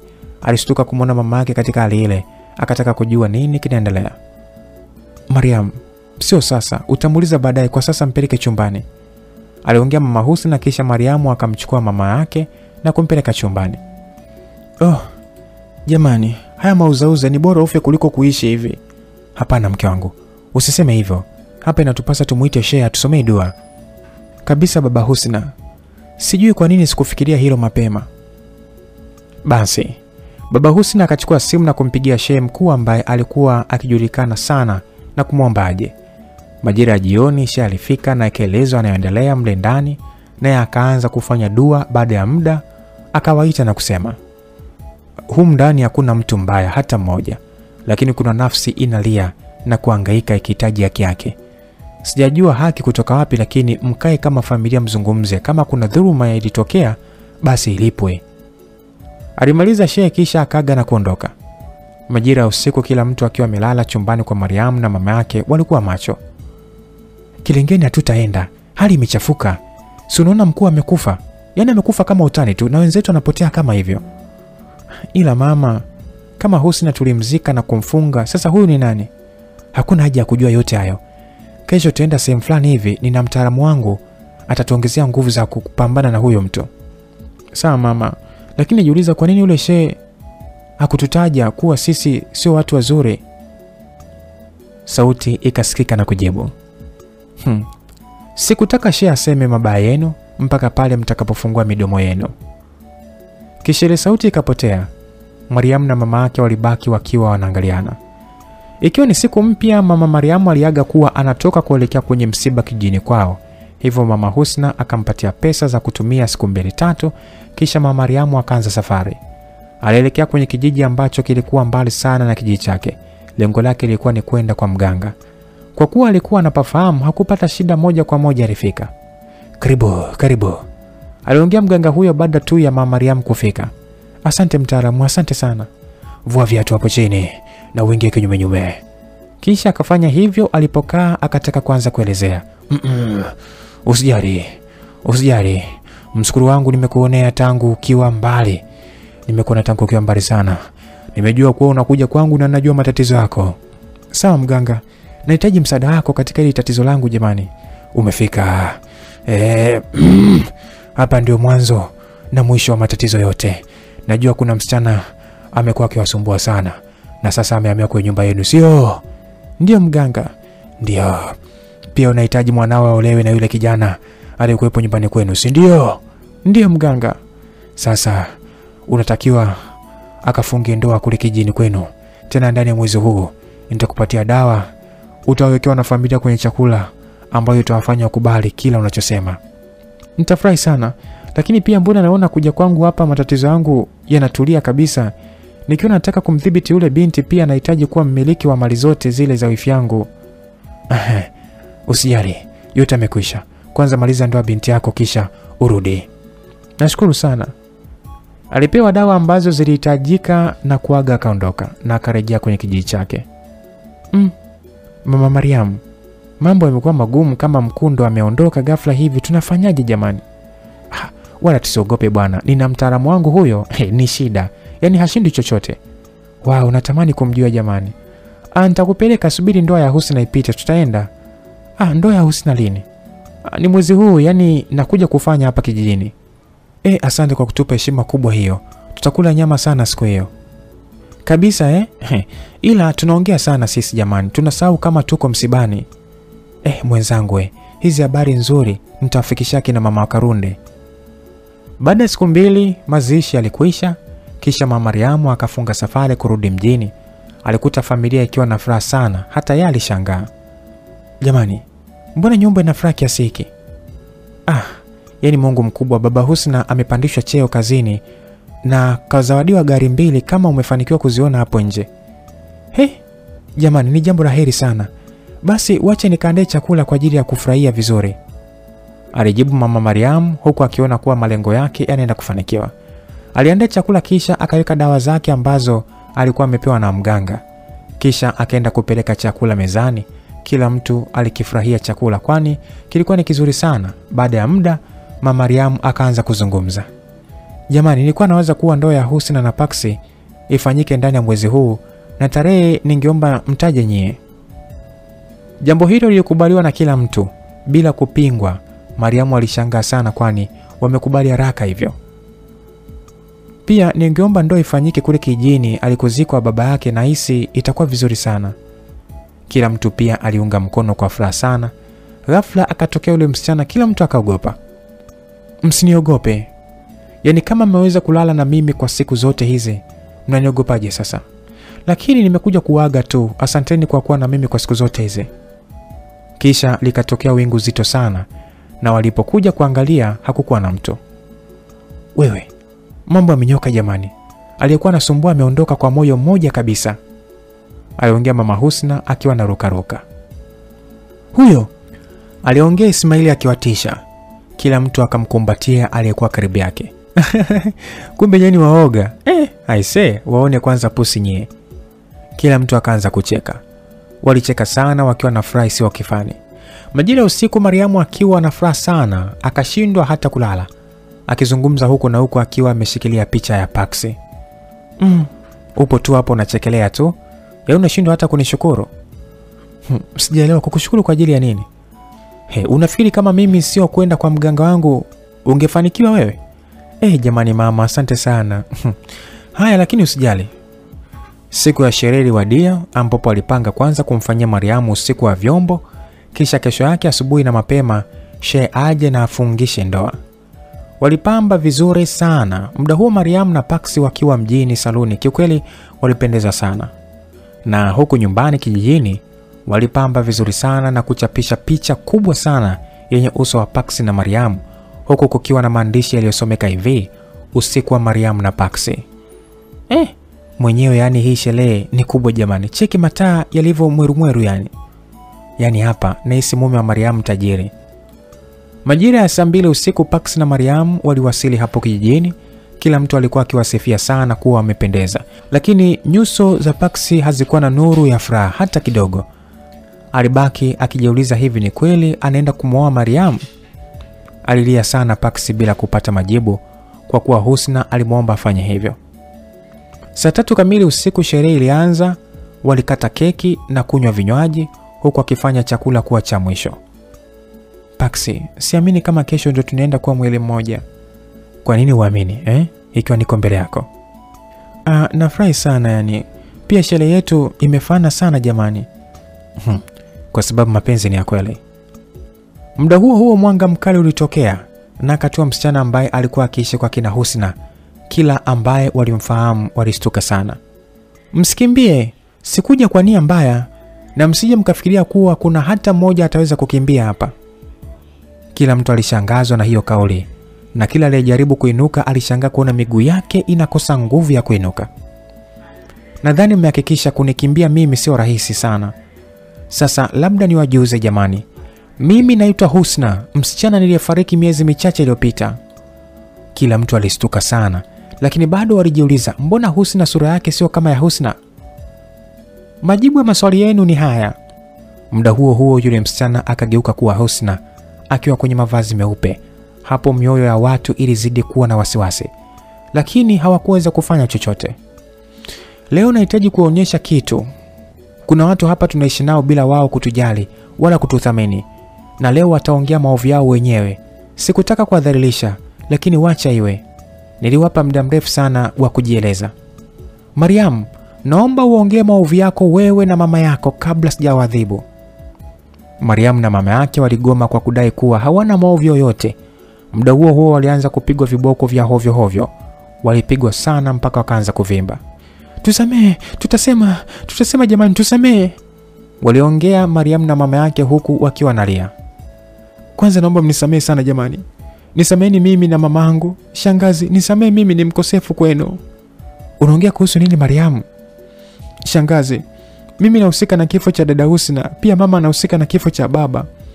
Nilimuua dada Husna kwa ajili ya wivu tu, kwani amekuwa msomi na ana bahati ya kupendwa na kila mtu. Niliamua nimuue ili niolewe na shemeji Paksi. Nisamee Paksi kwa kukondolea kipenzi cha maisha yako. Pia naomba nisamee kwa kukusingizia kutaka kunibaka. Pia Ismail mdogo wangu, nisamee, nilipanga kukuua pale tu ndoa yangu itakapokamilika ili uwe sadaka kwa mizimu yetu. Alimaliza Mariamu akiwa analia sana. Mama Husna alilia sana, akataka kuinuka na kumsogelea Husna na kutaka kumkumbatia. Cha ajabu, mikono yake ilipitiliza na kujishika mwenyewe. Nasikitika kukujulisha kuwa mimi ni mfu tayari mama, japo sikufa kwa mapenzi ya Mungu, lakini mlinifanyia arobaini ambayo iliniingiza kwenye kundi la wafu. Nahitaji kuwashika pia, lakini siwezi, nawapenda sana. Mama Husna akamsogelea mama Mariamu kwa sira na kuanza kumkaba. Ni kukosea nini jamani, wifi yangu eh? Eh? Kaka wangu ulifanya kosa gani kaka yangu jamani, mpaka ukaamua kukatisha uhai wake? Jamani, mimi Husna wangu jamani, siwezi hata kumshika, naumia mimi. Baba Husna alimsogelea Husna na kuanza kumwomba msamaha, na bila hiana akamsamehe baba yake. Siwezi kukukumu Mariamu mdogo wangu, wala shangazi yangu. Nilitaka mjue makosa yenu na mumrudie Mwenyezi Mungu. Sikuja kwa hukumu, kazi yangu imeisha na sasa naondoka, sitarudi tena. na kupenda sana Paksi, uwe na maisha mazuri. Paksi alilia sana. Mama yake alibaki akimbembeleza, alimhurumia mwanaye. Basi wachai wote wakaanza kujieleza kwa familia zao mabaya yao na kuomba msamaha. Husna akaaga familia yake na kuondoka. Asubuhi na mapema, Mudi aliomba aondoke na shangazi yake mjini, kwani hakutaka kabisa kuishi na mama yake wala mariamu Kwa kuwa mama Husna alikuwa amechukia sana, akaamua kumchukua Mudi kwa ajili ya kuondoka naye. Ghafla mama Mariamu akaanza kurukaruka na kuvua nguo, kisha akavaa matambala na kuanza kuongea maneno yasiyoeleweka, na hiyo ilidhihirisha kuwa mama Mariamu amekuwa chizi. Mariamu akaamua kumrudia Mungu na kuwa ana swali swala tano. Dada Husna, umenifunza mengi sana, nimekukosea sana, na ulikuwa na uwezo wa kunifanya chochote, ulikuwa na uwezo hata wa kuniua, lakini umenisamehe. Asante kwa kunifanya mtu mpya, asante kwa kunifanya nijue makosa yangu na kuweza kumjua Mungu. Naam, msikilizaji, niseme tu kwamba sio kila kosa ni la kuhukumu. Unaweza kumsamehe mtu na kumwachia maisha mapya. Msamaha wako unaweza kumbadilisha mtu kutoka kwenye ubaya na kuwa mtu mzuri na mwema kama watu wengine, na hapo Mungu atakuwa upande mmoja na wewe. Niseme tu ya kwamba mtunzi Patricia Anton ameishia hapa katika simulizi nzuri kabisa Mzimu wa Husna. Naamini kuna vitu vingi ambavyo utakuwa umejifunza. Niliyekusimulia simulizi hii ni mimi Lucas Lumbas kutoka hapa Simulizi Mix. Sina la ziada mpaka hapa, nikutakia usikivu mwema wa simulizi zingine zinazoendelea kutoka hapa Simulizi Mix. Bye bye.